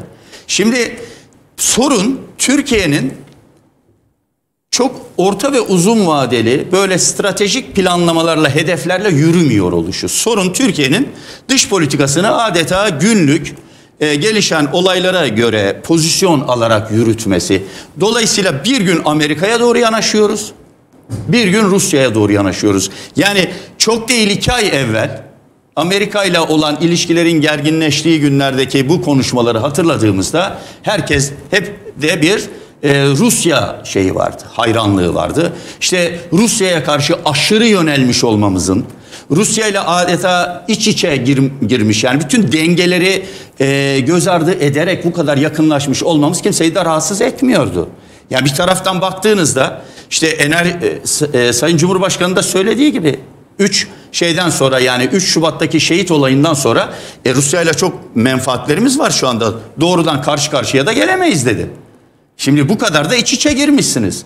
Peki Ee, Rusya Türkiye ile ilişkilerini devam ettirebilmek için İdlib'deki stratejisinden vazgeçer mi Şimdi da değiştirir Rusya mi? Rusya bir sürpriz yaş- yaşatmıyor ki. Rusya bir sürpriz yapmadı ki. Yani Rusya öteden beri Esad'ın arkasında ve bundan vazgeçmeyecek. Meşru Suriye rejimini destekleyecek. Oradaki toprak bütünlüğünü sağlaması hususunda gereken bütün desteği verecek. Bundan zaman vazgeçmeyecek. bizim stratejimizi değiştirmemiz gerektiğini iki, söylüyorsun. YPG'den ve PYD'den çok kısa vadede vazgeçmeyecek. Bunu terk etmeyecek. Ne oradaki ofisini kapatacak ne PYD'yi tamamen Amerika'nın kontrolüne bırakacak. O alan o o hakimiyetini e, elbette ki elden bırakmayacak. Üç, görünüyor ki Hafter'i desteklemekten vazgeçmeyecek. Ve böyle geldi politikası da. Yani Suriye e, politikası başından itibaren bu idi. Buna itiraz etmeyelim mi? Efendim? Buna itiraz edilmesin Hayır, mi? niye bugün ediyorsunuz? Niye Bir bugün ay edelim? önce edilmiyordu, Bugün olur mu canım? Olur mu öyle şey? Bakın Yani Rusya- lütfen Soçi mutabakatından Ya sonra biz Afrin'e- Moskova mutabakatı yapılmadı Ya mı? biz- biz o Mos- biz- Moskova mutabakatında ne istedik Salim Bey? Biz Afrin'e, bakın biz Afrin'e Biz o üç tane barış harekatını niye Evet yaptık? biz o, harekatları- barış harekatını yaparken Hem de Rusya'ya rağmen yaptık. Bakın Rusya'dan ha- Rusya'dan hava bölgesine izin alarak yaptık. Rusya'ya bilgi verdik. ben izin şunu söylüyorum. Moskova mutabakatını yaptığınızda Onun sonuçlarını mesela biz Rusya ile alabildik mi? Şu, şu anda siz mesela Bakın gönül ben- rahatlığıyla söyleyebiliyor ben- musunuz? Ben başka bir şey PYD, söylüyorum. YPG Murat Bey ben Unsurlarının oradan ben- temizlendiğini. Bakın ben Rusya ya da Amerika'yı Rusya'yı Amerika'dan daha az e, tehlikeli, çok iyi Tamam. dosttur Evet, ben de vesaire onu diye koymuyorum ortaya. Mesela diyorsunuz ki Rusya'nın oradaki asıl hedefi Suriye'nin toprak bütünlüğünü sağlamak. Ya Rusya'nın oradaki asıl hedefi Suriye'yi bir üs olarak kullanmak. Akdeniz'de üst. Amerika'da şey değil. biliyorsunuz oraya üs kurmak istiyordu. Rusya onu istemiyor. Amerika'da onu istemiyor. şimdi siz- yani toprak Peki bütünlüğünü Türkiye- toprak peki- bütünlüğünü savunmak Peki falan değil Türkiye- derdi. Esad'ın kaşı Peki biz değil. biz Türkiye Türkiye Cumhuriyeti devlet olarak ne yapmalıyız? O zaman Suriye işgal mi etmeliyiz? Ne alakası Suriye'ye var? Bu söylediğimden Ya ne bunu mu çıkarıyorsunuz? Ay ne yapmalıyız? Yani Bakın orayı- Rusya'nın Rusya'nın Suriye'de bu söylediğiniz Bakın varlığını şu ortadan kaldırmak için ne benim, yapmalıyız? Benim itirazım şu. Bakın diyorsunuz ki Rusya'nın ve Esad güçlerinin oradaki asıl hedefi terör örgütleri. Şu ana kadar Rusya'da şey Suriye'de 1 milyondan fazla halk, vatandaş, insan öldü. 4 milyon insan niye Türkiye'ye kaçtı? Ürdün'ü, Lübnan'ı falan saymıyorum. bakın, yani asıl hata söyledi- burada. şunu söylemeye Hata çalışıyorum. burada. Biz Hangi is- hata burada? Ya hata burada. 2011 yılında biz Amerika'nın peşine takılıp Suriye'deki iç savaşı körüklemedik mi? Bunun bu aşamaya gelmesinde hiç mi bizim dahlimiz yok? Yahu var tabii ki. Ben E, onu Şimdi Ama siz başta, tak- başta bakın, politikayı bugün yanlış Salim Bey, oluşturdunuz. şimdi hani şey bırakın gibidir, alttaki baştakini. düğmeyi Bırakın, yanlış iliklediniz. Yukarıya bırakın. doğru yanlış gitti. Bugünü biraz konuşmak Evet, lazım bugünü artık. konuşuyoruz. Bugünü konuşmak bugün gerekirse. geldiğimiz nokta artık bugün Ya geldiğimiz İdlib'de noktada Türkiye'nin ne işi var gibi bir laf bu ya. İdlib'de ne işimiz var demiyorum. var? Bak İdlib Türkiye için beka değildir. Olur Türkiye için Şu anda beka- Suriye'nin Türkiye tamamı Türkiye için bakın, bekadır. Türkiye için beka.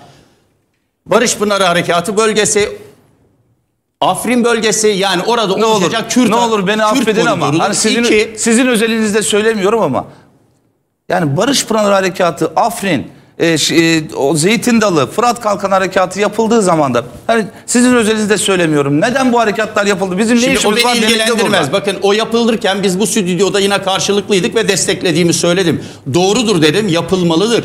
Türkiye orada bir koridor oluşmasına izin veremez, vermemeli dedim. Geçmişteki bütün politika yanlışlıklarına rağmen. Bakın madem ki buraya de- geldik bu yapılmalıdır. Bugün Ama de bakın, hani Türkiye ya- orada bakın İdlib'de sanki sadece ya bütün görüntüleri tek tek izliyoruz. İdlib'de sanki rejim güçleri orada bütün Murat terör Bey, şu cevabı unsurlarını temizlemek istiyormuş Şu gibi bir şeyde davranıyorsunuz. Şu cevabı vermelisiniz. Türkiye'nin gözlem noktalarını daha güneye indirerek Ya tamam, ya da şey mevcut söylemiyorum haliyle canım. bulundurarak O, o Ertuğrul Bey'in sö- söylediği. Hayır hayır şey. ya da Hayır, rahatlıkla açıklayabilir miyim? Hayır, ya da hayır size söyleyeyim. mutlaka ya da mevcut haliyle bırakarak elde edeceği siyasi hedef ve amaç nedir? Vardır. Biraz Nedir? önce ilk bölümde söyledim. nedir? Orada o kadar çok bizim amacımız, Nedir? hedefimiz var ki. Bir. Nedir? İkincisi, bir- birincisi şey. Teröristler Oradaki ya. Hala bakın Evet. o sizin o söylemenize zaten katılmam mümkün değil. PYD, YP- YPG unsurlarının orada olmadığını söylüyorsunuz.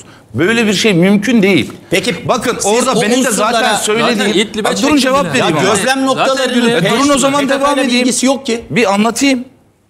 Şimdi Hayır söz bendeydi zaten. Aa, tamam buyurun o zaman sordunuz diye cevap veriyorum. Ben kapattım bir şey siz devam edin. soruyorsanız Buyurun. lütfen teker ben tamam teker bitirdim. Hayır, zaten Bana sıra geldiği zaman söylerim. Söyleyin. Buyurun buyurun siz devam edin. Hayır, zaten Türkiye'nin ben araya gireyim bari. Zaten Türkiye'nin yaptığı tüm bu harekatlarda teröristlerin hepsi İdlib'e girdi. Ya bunu herkes biliyor. Üstadım doğru söylüyor. Ya- yani bugün siz Şimdi Türkiye'nin- bugün siz İdlib'de Türkiye'nin- terörist bakın, yoktur diye biliyor musunuz? Nerede? İdlib'de Ya- YPG, PYD, PKK yoktur İdlib, diye biliyor İdlib musunuz? ağırlıklı olarak HTŞ'nin e, Terörist PKK'nın veya PYD'nin değil, HTŞ'nin kom, e, şeyi Kimdir altındadır, HTŞ? kontrol altındadır. Kontrolü altında. EYT, Tamam, evet kontrol doğru, altındadır. doğru. HTŞ'nin de PYD ile YPG ile bir alakası İyi de bu yoktur. yoktur diyemeyiz Tamam, ama yoktur. diyorum ben de. Terörist yoktur Ne diye- demek o zaman yoktur? o zaman Türkiye'nin o zaman Türkiye'nin tam da tersi şimdiye kadar o teröristleri temizleyecek hareket Peki siz neye bağlıyorsunuz? yapması gerekiyor. Şunu söyleyeceğim. Ya niye yapmadık o zaman? Şimdi o gözlem Niye yapmadık Rusya'nın ne kadar gözlem noktası var Bakın orada? iki yıldır, iki yıldır Türkiye o gözlem noktalarını oluşturup orada asker bulundurduğu bu süre Ya biz içerisinde... düne kadar devriye atıyorduk orada Rusya'yla birlikte. Ortak Nerede? devriye atıyorduk. Nerede devriye İdlib'de. atıyorduk? İdlib'de. Nereye atıyorduk? YPG'ye karşılık mı atıyorduk? E tabii ki orada sadece YPG için söylemiyorum. Bakın HTŞ onu inkar edebilir miyim? O da var tabii ki terör örgütleri. Ama siz orada kalkıp şeyi hani PYD, YPG unsurlarını bir kenara bırakamazsınız. Bakın ortak devreye atıyorsunuz diyoruz. at- atıyorduk biz. Niye şimdi atmıyoruz? E, Esad güçleri neden Türk askerine saldırdı?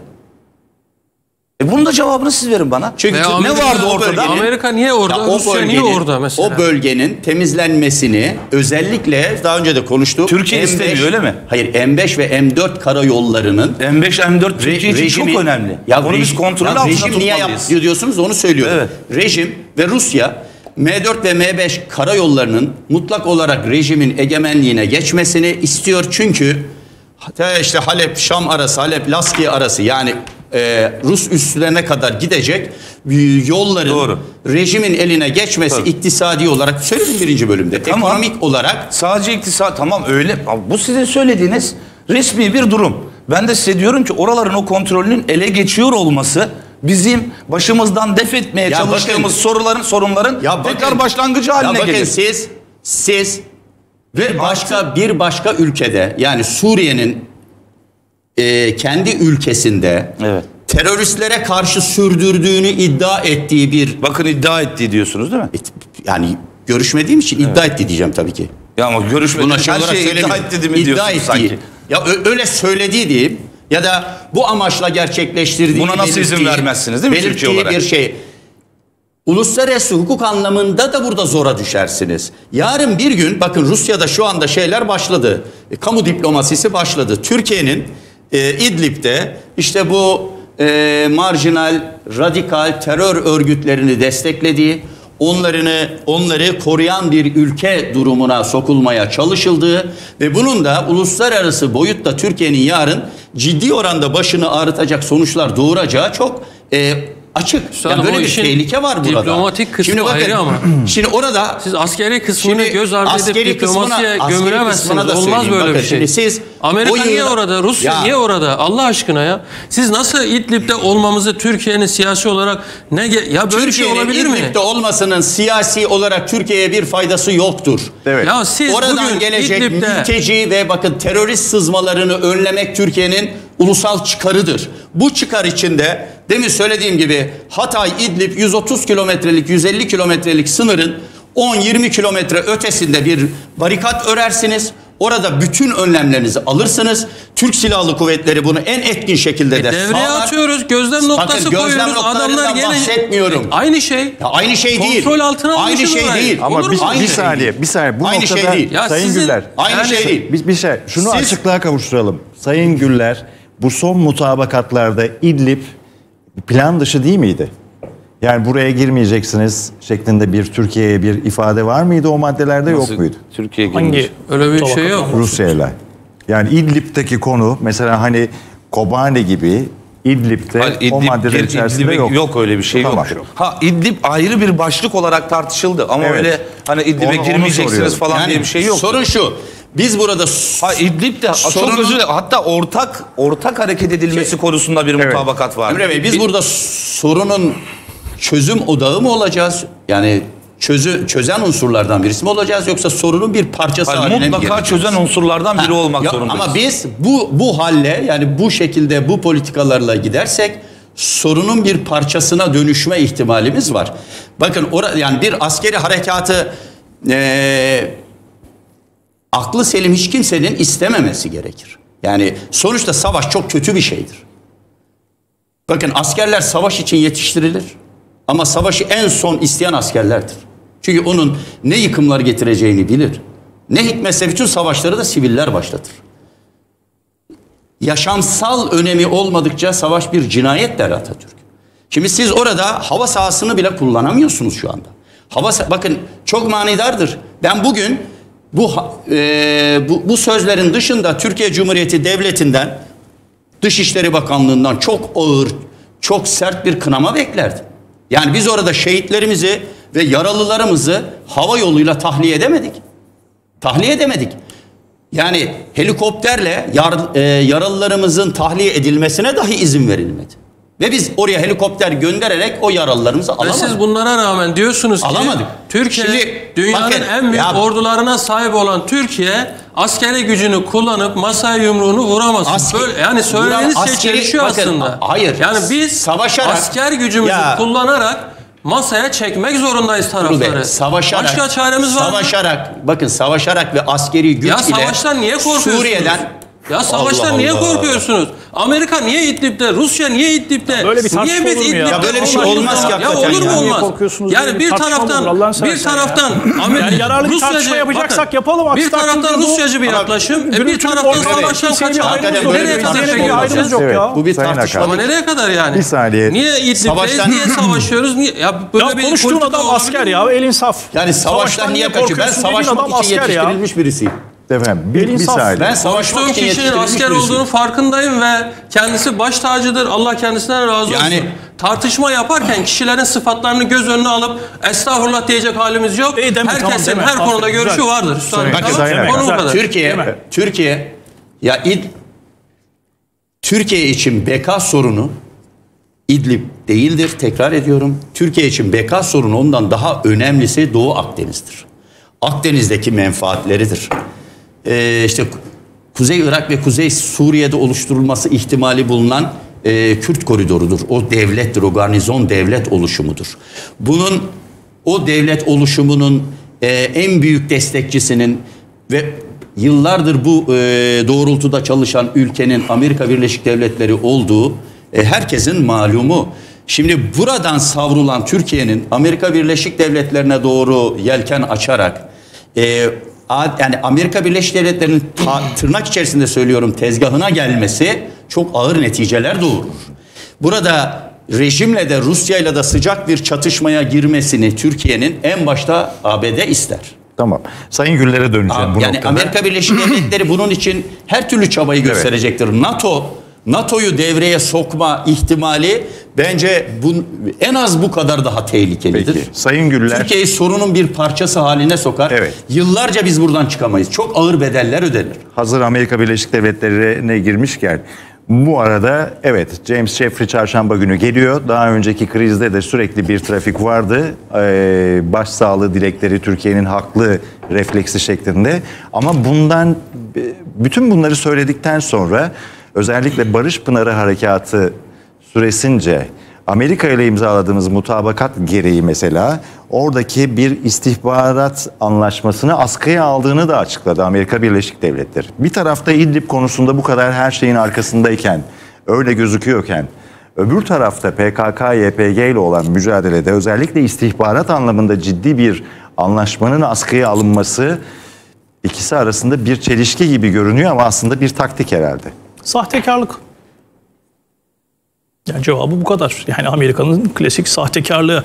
E, düne kadar e, terör örgütüne binlerce tır silah yardımı yapıp o silahlarla Türk askerinin de, Türk vatandaşının da, sivilinin de ölmesini sağlamış bir ülke. Bugüne kadar bu konularda bir NATO müttefiki olarak tek bir taziyesini duydunuz mu? Fakat Türkiye'nin Suriye ordusuyla karşı karşıya gelmesi o kadar çok işine geliyor ki anında baş taziyeci kesildi. Anında reaksiyon Ha. gösteriyor. Şimdi bu, bu bizim bunu bunu görmemiz lazım. Hani onun ötesinde hani bu bu tartışmanın e, ben çok yararlı olduğunu düşünmüyorum. Hani bizim odaklanmamız gereken yer burada e, Amerika'nın tuzağına düşmeyen bölgenin yararını gözetecek bir çözüme odaklanmak.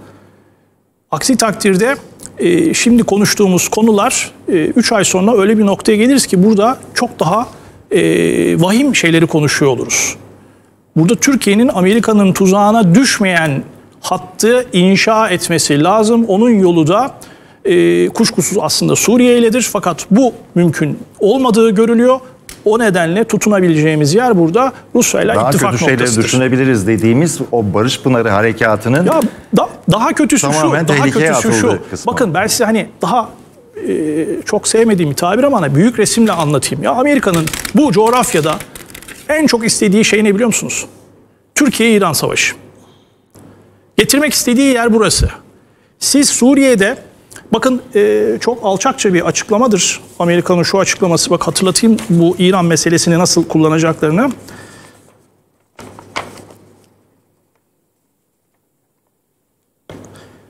Amerika'nın Suriye özel temsilcisi James Jeffrey, üstelik daha 3 Şubat yok ortada. Esad rejimi İran ve Rusya bilmelidir ki İdlib'deki saldırılar kesinlikle kabul edilemez. Daha ortada henüz şehit verme durumumuz yok. 30 Ocak. Sadece Esad'ı değil, İran'ı da işin içine katarak bir hedef gösteriyor. Sonra devam ediyor. Şimdi burada bulamadım. Fakat iş ha buldum. James Jeffrey'nin 6 Şubat 2020 açıklaması. Suriye saldırısında sadece Rusları değil, aynı zamanda İran ve Hizbullah'ın da aktif rol aldığını görüyoruz. Nereden görüyorsun? Hizbullah'ı, Hizbullah'ı nereden görüyorsun? Yok öyle bir şey. Bu tamamen Türkiye'nin önüne bütün bunların hepsini düşman koyma işi. O yüzden Türkiye burada ne Suriye'yi düşman gören, ne İran'ı düşman gören, ne de Rusya'yı düşman gören bir anlayışa düşmeden bu meseleyi hal yoluna sokmasıdır. Herkesin e, işine gelen çözüm budur. Bölgenin işine gelen çözüm budur. Bunun dışında aranacak her çözüm yangını büyütecektir. Hiçbir zaman yangına elde benzin bidonuyla gidilmez. Biz şimdi e, odaklanmamız gereken yer burasıdır. Ben bunun ötesinden tartışmayı çok anlamlı bulmuyorum doğrusu. O yüzden kendi adıma yeterlilik veriyorum. Peki dediğiniz İran Türkiye şey kısmı tamam Amerika'nın hedefi bu Amerika'nın olabilir hedefi ama bu. Bakın gerçekçi bir süredir var? yani şöyle gerçekçiliği şudur. Bakın 30 yıldır bu ülkede CIA'in öldürüp e, bir kısım cumhuriyetçiyi de ikna edip e, katil İran sloganları attırdığı dönemleri yaşadık biz bu ülkede. Yani Türkiye ile İran'ı karşı karşıya getirmek için suikast yapıp topu e, İran'a atan bir anlayış da var. Dönem dönem getirip işte Suriye'de, şurada, burada yine İran'la seni karşı karşıya getirmek isteyen bir Amerika'da var.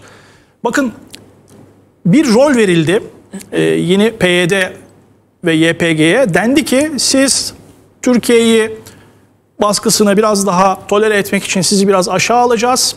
Hem oradaki petrol bölgelerini koruyacaksınız fakat ondan daha önemlisi Suriye-Irak sınırında yığınak yaparak İran-Suriye hattını keseceksiniz. Böyle bir rol veriliyor.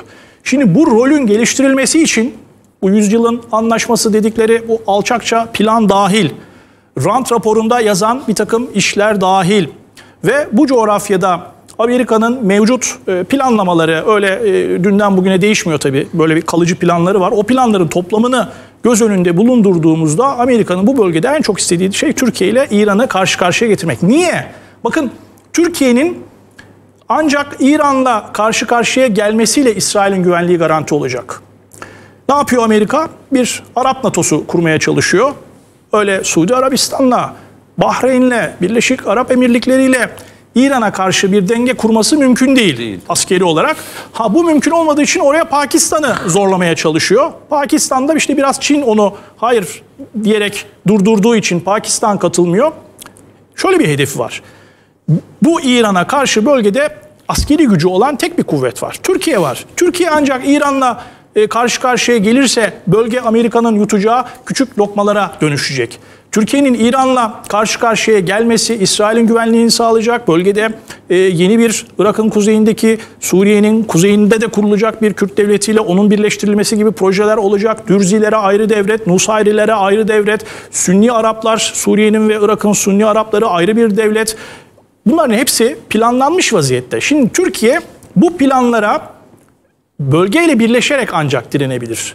Bunu öyle tek başımıza direnebileceğimiz bir şey değil. Yani bu reel durumu görerek hareket etmemiz lazım. O, o nedenle Türkiye bir bölgesindeki e, komşularıyla işbirliği yaparak iki bu işbirliğini e, Rusya gibi bir küresel güce güçle birleştirip Amerika'nın karşısında durarak ancak çözebilecek. Önümüzdeki yılların e, bu coğrafya açısından çok kanlı olmamasının e, bugünkü e, yolu, bugünkü kurulabilecek barikatı bundan geçiyor. Bir yandan da yüzyılın anlaşması dediniz. Şöyle de deniliyor. Kaddafi yaşasaydı, Saddam yaşasaydı, e, kuşkusuz Suriye böyle bir daha böyle bir şey bir olmayacaktı. Olsaydı, böyle bir açıklama yani, olmaz. E, yüzyılın anlaşması dedikleri anlaşmayı yapabilmek için e, biri stratejik planda, iki taktik planda iki şey yaptılar. Stratejik planda olanlar şu. Yani Irak'ta Saddam'ı devirmeseydiniz, Libya'da Kaddafi'yi devirmeseydiniz, Suriye'de 8-9 yıldır süren iç karışıklığı çıkarmasaydınız bugün yüzyılın sava- e, anlaşmasını ilan edemezdiniz. Bu bir stratejik planda olan ama taktik planda da şu var. Kasım Süleymaniye'yi öldürmeseydiniz büyük bir terör saldırısıdır o. E, Ondan önce e, yine bazı suikastleri var Amerika'nın. Yine e, Kürtleri e, bir Arap Acem arasında tampon düşünerek bağlantıyı kesme az önce söylediğim meseleler var. Bunlar da son bir yıl içerisinde taktik düzeyde e, gerçekleştirdikleri adımlar. Bunların üzerinden yüzyılın anlaşmasını yükseltebildiler. Suriye'de iç karışıklık olmasaydı yüzyılın anlaşmasına Golan Tepelerini nasıl koyacaklardı? Kaşla göz arasında Golan Tepelerini Trump İsrail'in egemenliği egemenlik bölgesidir deyip tanımış oldu. Dolayısıyla biz burada hani e, küçük hesaplar yapmamalıyız. Bakın ben İdlib'i küçük hesap görürüm. Hani İdlib'i almak isteyen varsa ben orayı 82. il yapacağım diye küçük hesaptır bu. Siz İdlib'i alırken Diyarbakır'ınızı verirsiniz. Bu işler öyle kolay olmuyor. Yani büyük projeler var. Bu büyük projelere direnmenin yolu da bir, Türkiye komşularıyla bölgesel işbirliği kuracak. İki, bu işbirliğini Rusya'yla ve hatta yeni plandan Çin'in desteğiyle bu güç birliğini e, Amerika'ya direnecek ve Amerika'yı alt edip bu bölgeden atacak bir güce dönüştürmeniz gerekiyor. Sayın Kerkitlioğlu deniliyor ki bu ilk şehit verdikten sonra bu ilk saldırıdan sonra tamam Rusya'ya bir şekilde e, bir mesaj verildi. Esad rejimine de mesaj verildi ama e, Türkiye'nin İdlib'den istediğini alma noktasında Rusya'ya verilen mesaj mesela Cumhurbaşkanı Erdoğan'ın bizim her koşulda e, Rusya ile ekonomik ilişkilerimizi devam ettirme taraftarıyız demenin erken olduğunu özellikle Türkiye'nin İdlib konusunda alacağını almadan bunu söylemesinin erken olduğu yönünde e, eleştiriler vardı. Siz katılıyor musunuz? Yok katılmıyorum. Yani şöyle e, Mehmet Ali Bey'in söyledikleri özellikle hani ikinci bölümdeki söylediklerinin tamamının altına imza atarım. Çünkü burada ben de ilk bölümde aynı şeyi söyledim. Suriye'deki sorunu çözecek iki tane ülke var. Yani Suriye'yi bir, şekilde e, görüşmediğimize göre Esad'la Türkiye ve Rusya. Yani Amerika'yı buradan hani en azından şimdilik yine bir tırnak içinde söyleyeyim zor bela bir e, def etmiş durumdayız. Tekrar onlara bir e, çağrı yapıp biz daha e, o binlerce tır dolusu silahın nerede olduğunu bile daha şu ana kadar tespit edemedik. Bunlar temizlendi mi temizlenmedi mi bilmiyoruz. Daha düne kadar biz burada bangır bangır şunu konuşuyorduk. Bizim ülkemizin e, güney sınırında çok ciddi bir terör ordusu oluşturulmaya çalışılıyor diye. E şimdi bunu oluşturmaya çalışan da kimdi? Amerika Birleşik Devletleri'ydi. Bunların hiçbirini unutmamak lazım. Amerika Birleşik Devletleri'nin bölgeye, Orta Doğu'ya hiçbir şekilde tek zırnık kadar bir yararı olacağını düşünmüyorum. O nedenle çözeceksek de kendimiz çözeceğiz. Çin meselesine de katılıyorum. Hatta ben onu İran'ı da koyuyorum. Bütün bu bölgenin sorunlarını bu ülkeler birlikte çözmeli. Amerika hiç ama hiç gündemde dahi olmalı, olmamalı. Çok doğru bir tespitti. Soruyu da sen zaten o şekilde sordun. Ee, PYD, YPG unsurlarıyla yaptığımız veya o Barış Pınarı, Fırat Kalkanı, e, diğer Zeytin Dalı harekatlarında yaptığımız operasyonlar sırasında şehit olan askerlerimizle ilgili ABD Büyükelçiliği veya herhangi bir tanesinin tek bir başsağlığı mesajını hatırlıyor musunuz? Yok öyle bir mesaj. Ama şimdi ufacık bir şeyde buradan yarar sağlamak. Çarşamba günü de Cefri geliyor diyorsun. Ankara'ya geliyor. Yarar sağlamak açısından. Bir, bir parantez belki söyleyeceklerinize katkı olsun diye. E, 30 Ocak'ta Amerika'nın e, Avrupa Yüksek e, Kuvvetler Komutanı Todd Walters'ın geldiği ziyaret çok anlamlı. Bakın orada e, İdlib gündemiyle geldiler. Hem Ankara'dan hem Washington'dan açıklanan resmi gündem İdlib. Bizim Amerikalı bir generalle şu anda İdlib'i konuşuyor olmamız bile vahim. Ve kabul edilip edilmemediği konusunda bir durum yok. Ee, benim tahminim tabii kabul edilmedi ama Todd Walters'ın bir planla geldiği, o planında yeniden Suriye'nin kuzeyinde işbirliği yapalım planı olduğu ortada. Şimdi bu planın askeri boyutu geldi, siyasi boyutu gelecek. Türkiye'nin bu planların tamamını e, Tabii elinin tersiyle etmesi lazım. Yüzde yüz katılıyorum çünkü yaşadığımız tecrübe çok yakın. Yani e, Amerika ile zaten sadece hani Suriye konusunda değil. E biz FETÖ konusunda da neler yaşadığımız, ne tür krizler yaşadığımız ortada. Yani terör örgütleri konusunda bizim karşımızda kim varsa, bizim canımızı yakan hangi terör örgütü varsa onun arkasında mutlaka Amerika'nın elinin olduğunu biliyoruz. O nedenle e, bence burada Amerika e, alternatifini mutlaka bir kenara koymak gerekiyor. Şimdi Sayın Cumhurbaşkanı'nın e, o, o açıklamayı yapması ya çok doğal gerçekten öyle değil mi? Şu son bir 6 aya lütfen bir bakın. Yani Rusya ile bizim ilişkilerimize bir bakın. S-400'lerden tutun işte F-35'lere alternatif uçakları düşünün. Bunların alınması bile gündeme gelmiş. Bir yandan yani, Türk akımı var. E, bir yandan Çok evet ciddi. yani ekonomik anlamda beraber doğal gaz vanalarını açıyoruz. Yani bütün bunlar gündemdeyken e, kalkıp da hani Rusya ile ben e, işte bayrakları, kılıçları çekeyim karşı karşıya geleyim gibi bir havada böyle, böyle bir yaklaşımda olmamak gerekiyor. Bunu çözecek olan bir daha söylüyorum Türkiye ve Rusya'dır. Bunun üzerine diplomasiyi hiçbir şekilde kenara bırakmamak gerekiyor ama bir yandan da şuna da kesinlikle katılıyorum.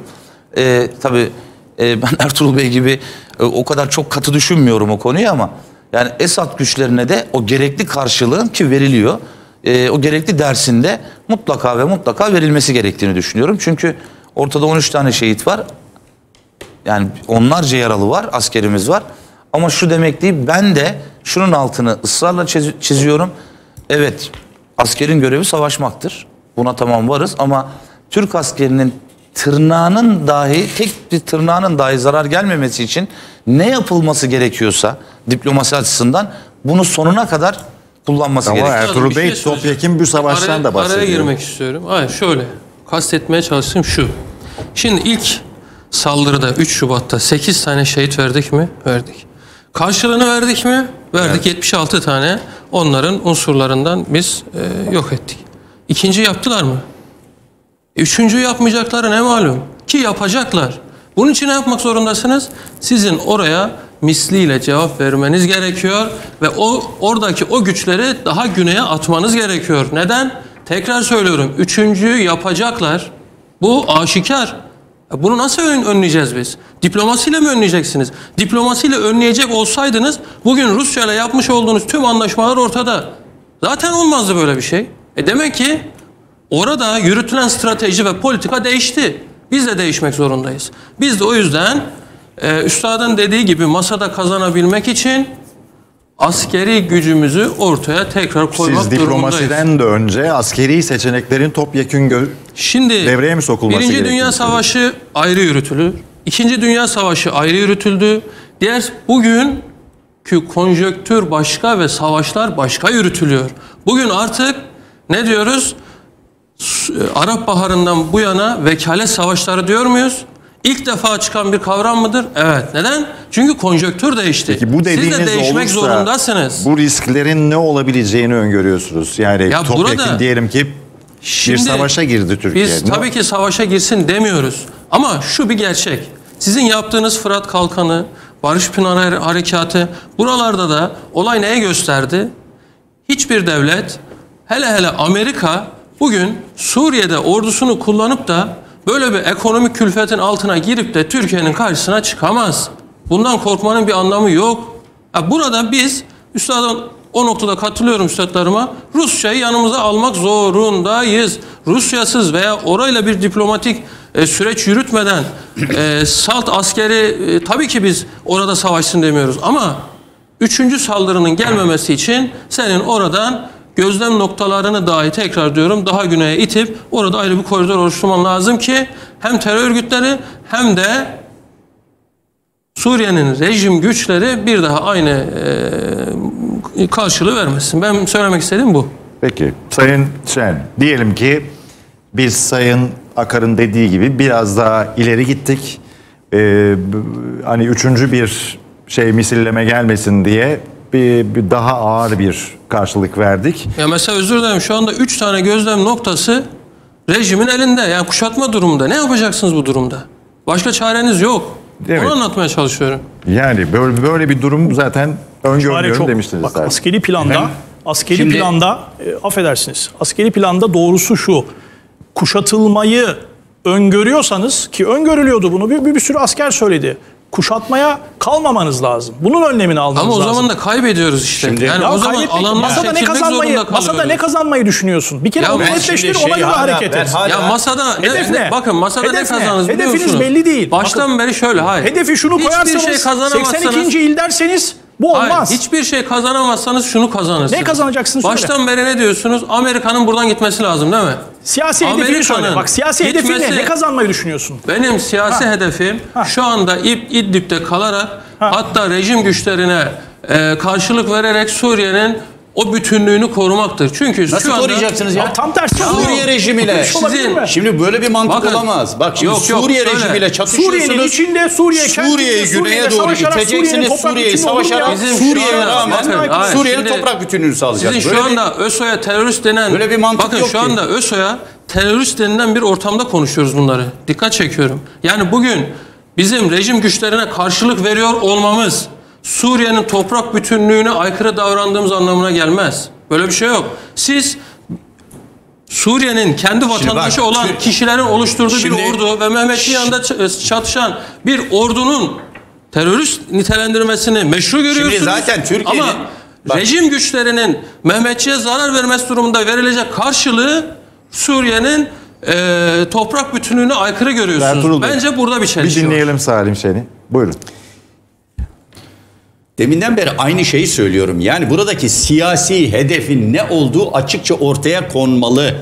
İdlib'de o, o e, bir alan yaratarak, rejimi daha güneye iterek, diyelim ki böyle bir şey yaptık. Yarın Türk Silahlı Kuvvetleri girdi, aşağıya doğru indi, gözlem noktalarını aşağıya indirdi, rejimi de yukarıya sokmadı. Şimdi böyle bir alan oluşturdu.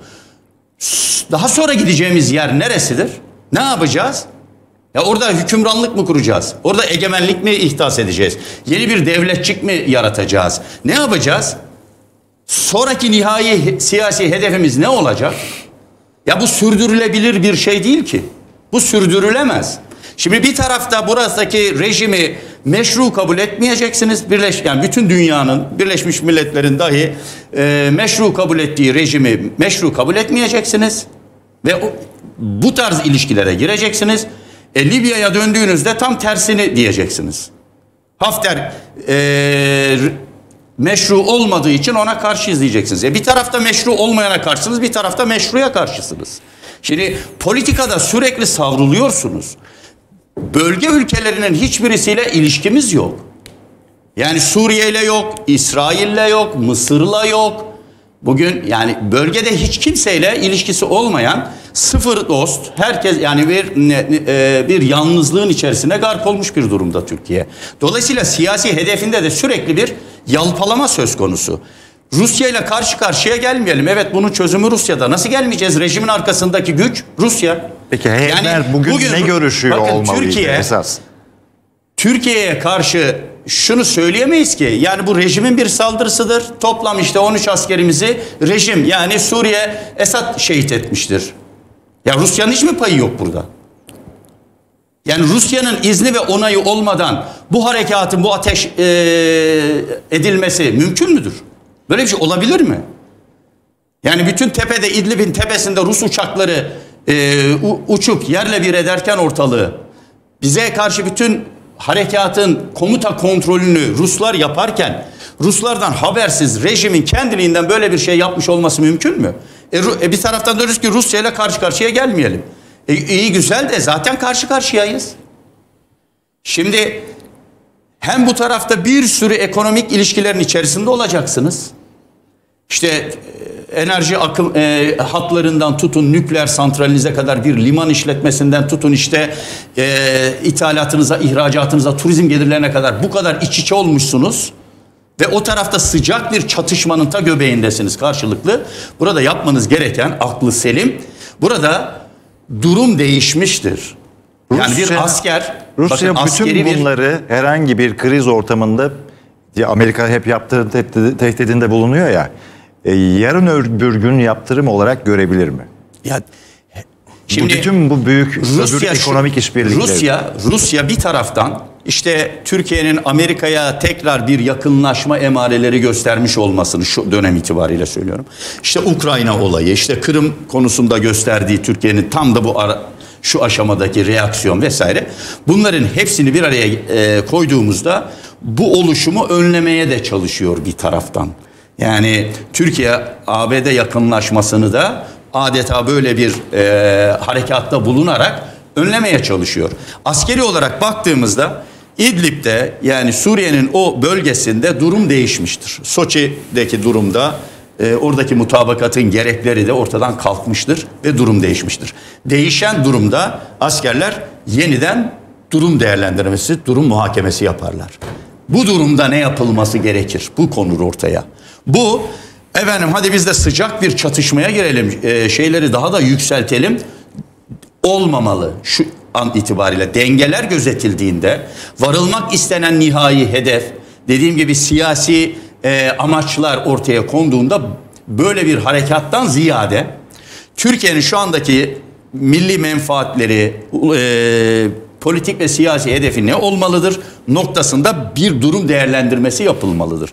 Bu durum değerlendirmesinin iki başlıkta ben düşünüyorum. Bir, İdlib ve oradaki yani oradan gelecek e, şeylerin e, Türkiye'ye mültecilerin ya da işte terörist unsurların sızmalarının Türkiye açısından ciddi bir tehdit teşkil ediyor olması ve bu değişen durumun buna göre ayarlanması. Bunun için az evvel söylediğim gibi gözlem noktaları değil başından beri ben de e, Genelkurmay'daki arkadaşlarımla aynı düşünüyordum. Bu çok gerekli bir şey değildir.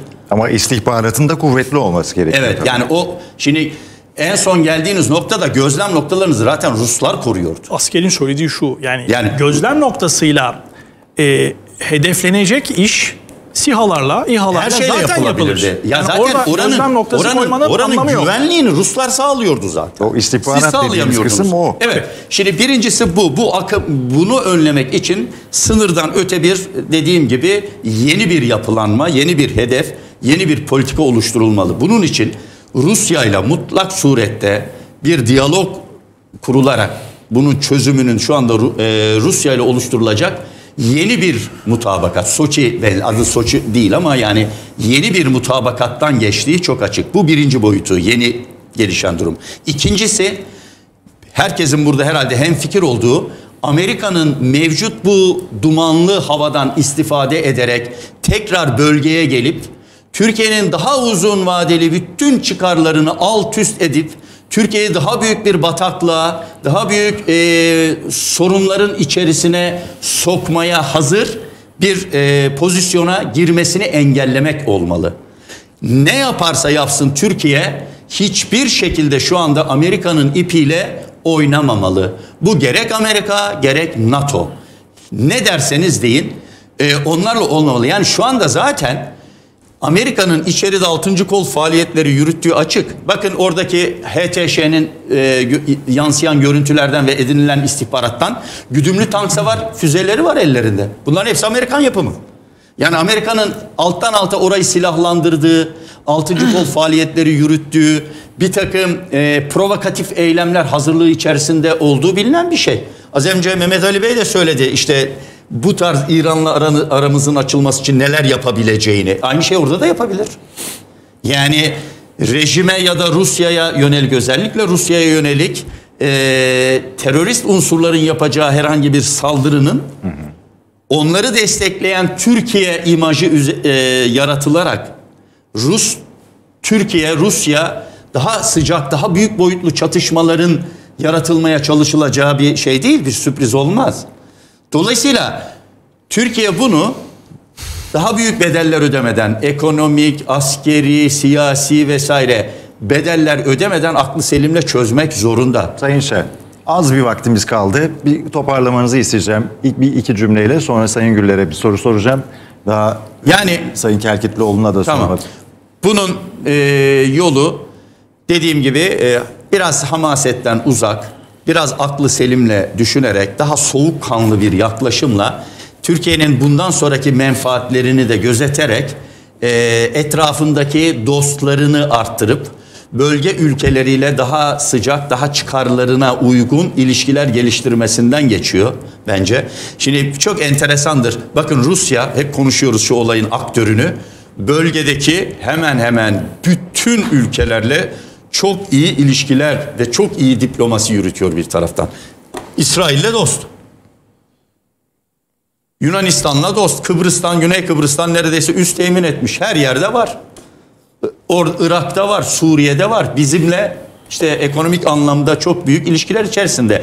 Yani herkesle dost olmanız, ulusal çıkarlarınızı ötelemeniz ve e, göz ardı etmeniz anlamına gelmez. Tam tersi olumlu diplomasi her zaman en doğru, en akılcı çözümdür. Peki Sayın Güller, e, HTŞ Türkiye'nin de evet terör örgütü kabul, kabul ettiği bir oluşum.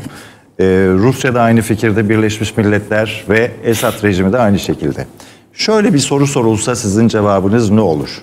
Madem herkesin ortak bir düşman olarak bellediği HTŞ'ye niçin Türkiye, Rusya ve bölgedeki belki de Esad rejimi askerleri ortak bir şekilde mücadele etmiyor ya da neden edemiyor? Ya bunun bir tane nedeni var. Yani biz şimdi bu siyasi hedef nedir nedir'i sorup e, durmamızın nedeni de o. Yani problem şu. Şimdi Türkiye'nin e, bir siyasi hedefi var. Aslında bir de AKP'nin bir siyasi hedefi var. İkisi birbirinden farklı. Biri Türkiye'nin ulusal çıkarlarıyla ilgili, biri AKP'nin kendi çıkarlarıyla ilgili. Fark şu. Türkiye'nin çıkarları şuydu. Suriye'nin kuzeyinde Amerika'nın kurduğu bir terör devleti var. Üstelik bu Irak'takiyle birleşip Doğu Akdeniz'e açılma hedefi olan bir proje. Türkiye açısından bunun ortadan kaldırılması gerekir. Türkiye'nin çıkarı buydu. Fakat bunun yani bu çıkarın gerçekleştirilebilmesinin iki yolu var. Bir, şimdi Türkiye'nin yaptığı gibi girip o koridoru bozmak. Bir bu.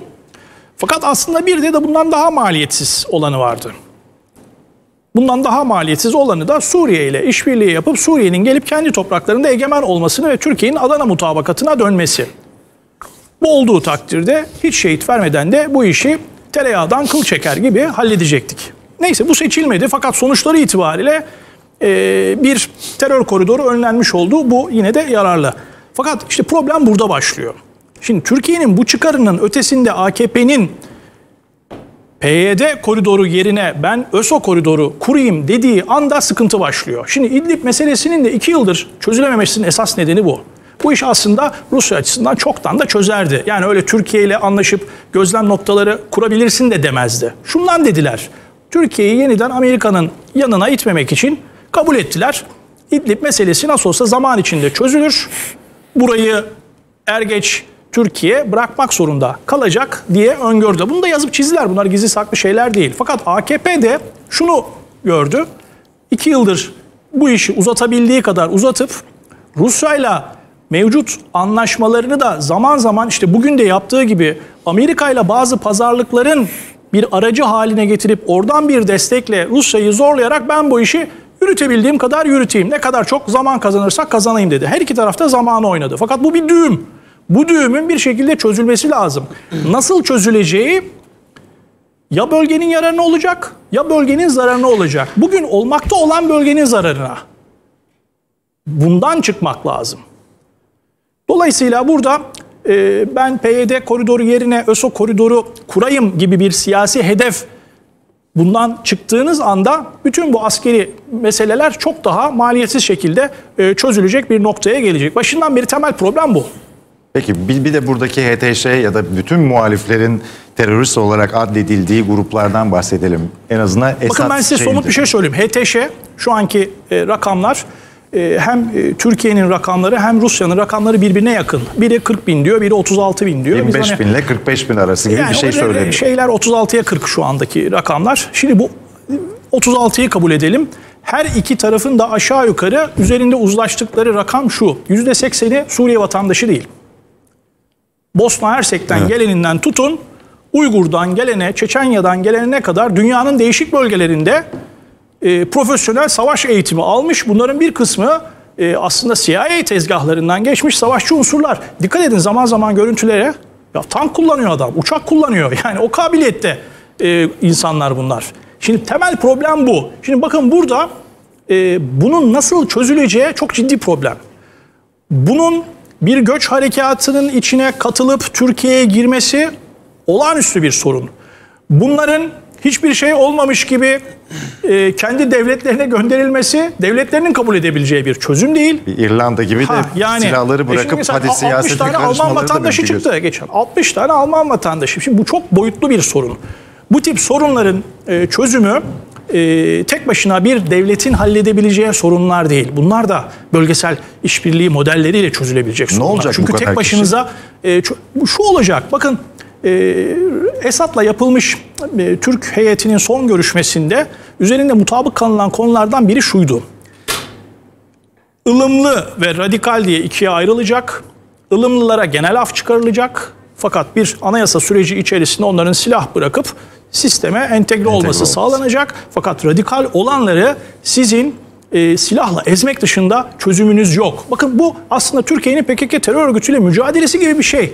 Yani silahla çözmek dışında bir seçeneğiniz Bırakın- kalmıyor. Bırakın onlar çözsün yani. Biz niye çözelim? bunu? Ayrıca o ayrı tabii. Ee, biz niye çözelim? Böyle bir durum var.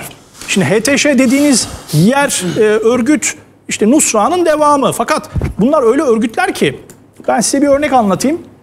Ee, Kırşehir'de Eğit Donat faaliyeti Amerika'nın e, isteğiyle başlamıştı. Türk ordusu da eğitiyor bunları, donatıyor, ceplerine de para koyuyor, sınırdan yolluyor. İlk gelen grup, 110 kişilik bir grup gitti. 95 tanesi IŞİD'e katıldı. Evet, ılımlı değil, kısmı dediniz ama Bilemezsiniz bütün- yani paralı asker bunlar. Evet. Yarın saf değiştirir. Yani kafa koparan- Parayı kim, tabii parayı kim veriyorsa onun safına geçecek. Ya da kendi aralarında bile kuvvet değiştiriyorlar. Şimdi diyelim ki bir bölgede biri egemen, diğeri daha büyüğü geldi. Onunla çatışıp kaybetmektense hızla saf değiştirip onların içine giriyor. Sonra tekrar bölünüyorlar. Yani envai çeşit bir örgüt var.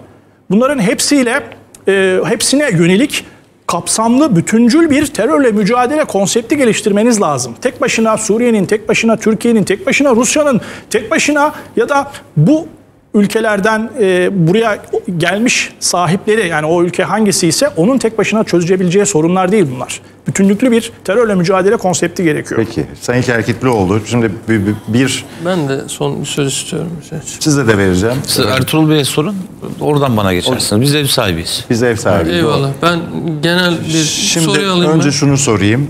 Üçüncü bir misillemenin olup olmayacağına dair öngörünüz, yani en azından saldırının olmayacağı ve arkasından e, bir misilleme Türkiye'den olmayacağına dair öngörünüz. Çünkü konuklarımız dedi ya bir e, strateji değiştirmediğimiz sürece e, bu saldırılar Ya o devam söylem biz geri çekelim söylemi. Tabii ki benim kabul edebileceğim bir şey değil. Hem siyasi görüşüm olarak. Ama siz zaten daha önce bunu kabul edeceğim bir durum değil. Tabii ki yani iki, ilkinde uyarı yaptık. yani. ikinciyi yaptılar. Üçüncüde geri mi çekeceğiz? Böyle bir şey yok. Bunu kabul edemem ben. O yüzden yorum yapmaya da gerek duymuyorum.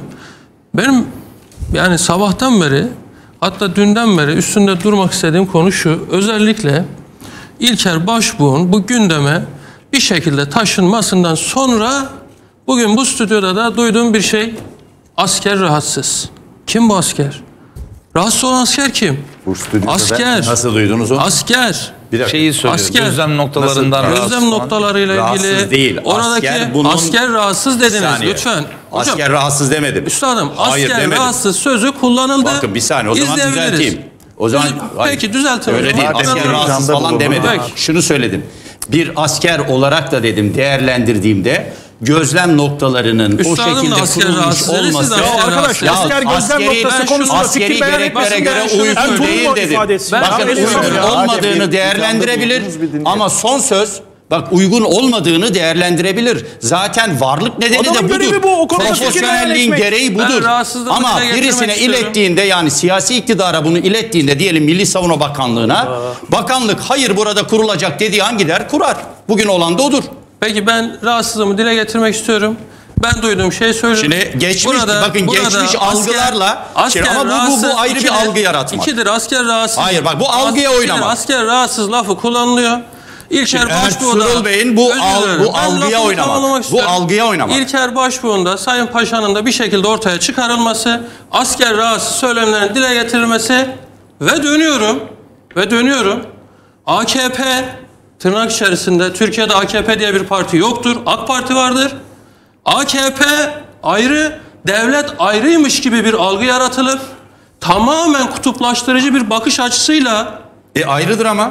Olur mu? Partiyle devlet Devleti ayrıdır. yöneten kimdir? Partiyle devlet Devleti zaten parti devleti olur. Devleti yönetenin hükümet olduğunu biz anlamamışsak. Hükümet başka bunu bir şey, parti başka bir şey. O zaman burada tartışmamızın Ya bu anlamı başka yok. bir şey. CHP, devleti kuran parti, devlet AK Parti 20 yıldır milletin oyuyla gelmiş. Sayın Cumhurbaşkanı 20 yıldır devleti yönetiyor milletin Hayır, bu oylarıyla. zaten söylediğimizi- Burada, burada Bak- AKP bunu yapmak Ya istedi. bugüne Kardeşim, kadar des- siz bugüne kadar bir şey şeylerimizi destekliyorum. Siz burada ne yapmaya AK Parti çalışıyorsunuz? devletleşti diyoruz Siz zaten. burada politika Parti devletine yapmaya dönüştü diyoruz. çalışırsanız politikanın en Abi iyisini biz politika yapmaya yaparız. geldik. Ne politika? AKP, Allah Allah. bakın AKP, Allah aşkına bakın saçma tartışmayı AKP, ya. AKP, ya? AKP Tamam diye bir parti anladık, yoktur. anladık. Tamam mı? Bu Tamam, bir. anladık. İkincisi, Ben anladık bence. asker rahatsızsa, fazla sapı asker rahatsızsa, bence bitirelim. asker şey rahatsızsa öyle lafı ortaya atayım da sonra geri çekilim yok.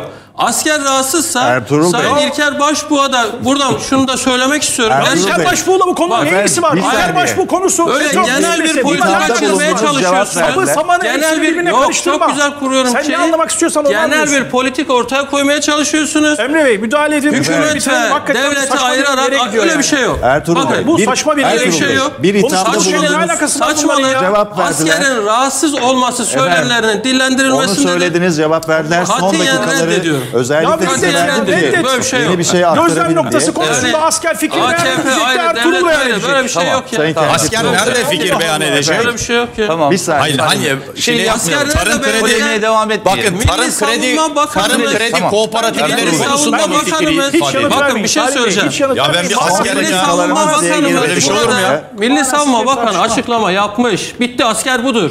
Kim rahatsızmış ya? Milli Savunma Bakanı'nın dışında kim konuşabilir kardeşim? Asker rahatsızsa istifasını eder gider. Ya bu şov yapıyorsunuz ya. Ya yaparım şovumu. Şov yapıyorsunuz. Siz ya. burada Ya vallahi Türk şov devletini. Bu konuyu devletini Tamam. partizanlıkla aşağılayacaksınız ben şov yapmayacağım. Yaparım kardeşim. Bak asker budur. Bak asker budur. Asker budur tamam? Konu kapanmış. Güzel. Sayın Kerküklüoğlu son dakikalarımızda Cevap size veriyoruz ve kapatacağız. Evet Yani yani bu bu bir tartışma değil ki. Ya değil tabii. Evet, lütfen. Değil, haklısınız. Çünkü son dakikalarda Haklısınız. AKP, Yararlı bir- AKP yararlı bir değil, bilgi devlet değil bu başka, parti başka, partizan Efendim, yaklaşımlara biz parti ediyorum. karşıyız. Öyle bir şey yok. Efendim siz bir üçüncü bir saldırı umarız olmaz ama e, bir öngörüyor musunuz? Esad rejimi ve Rusya'nın tavrı değişmediği sürece e, Türkiye'de açıklamalarını yaptı. Geri kontrol noktalarımızı geri almayacağız. Gerekiyorsa karşılığını vereceğiz. Ama bütün bunlara rağmen bir üçüncü saldırı olursa ki umarız olmaz. Türkiye'nin tavrı misillemeyle kalır mı kalmaz mı? Daha mı ağır olur? Şimdi üçüncü saldırının olmaması için zaten eee, işte heyetler arası görüşmeler yapılıyor. Çok da kalabalık bir heyet Türkiye'de. Evet bence eee Soçi mutabakatta, Moskova muta- mutabakatta bunlar şu anda ne yazık ki artık güncellenmesi gereken mutabakatlar mutlaka yeni bir duruma göre eee, oturulup yeni mutabakat imzalanması gerekiyor. Çünkü yani Rus heyeti buradayken eğer saldırı yapılabiliyorsa üçüncü bir saldırı da mümkündür. Olasılıklar dahilindedir. Eee, bu çok ama çok eee, hayır kesinlikle olmaz diyebileceğim bir şey değil. Hatta yani Rus generaller tarafından yönetilen as- rejim güçleri tarafı tarafından yapılan eee, saldırılar bunlar.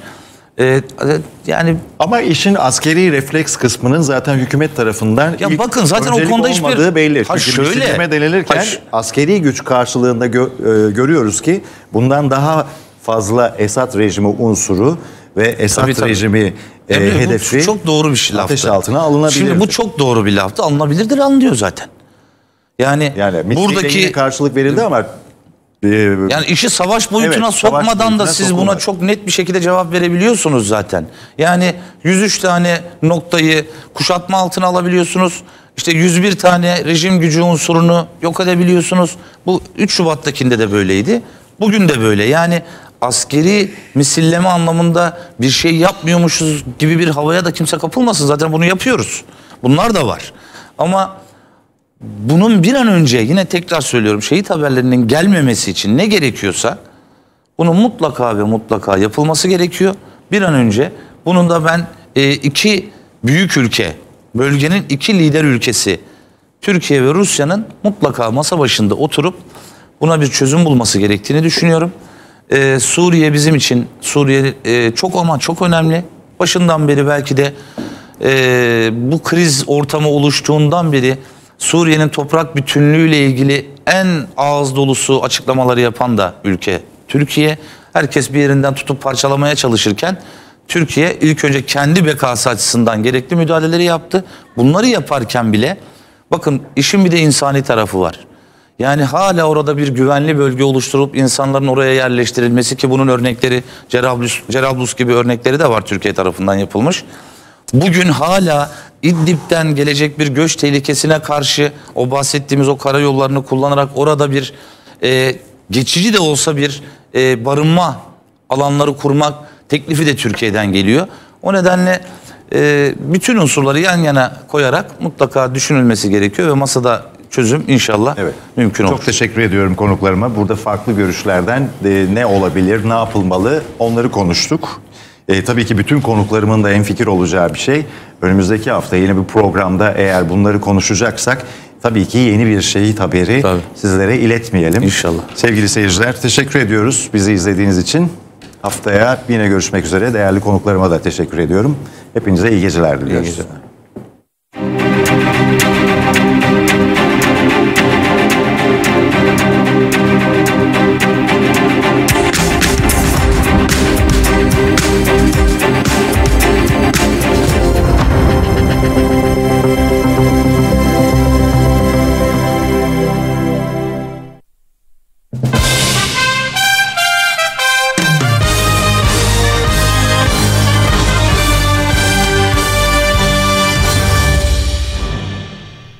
Geceler saatlerimiz 23.30'u gösteriyor. Ben Duygu Özel Tapan.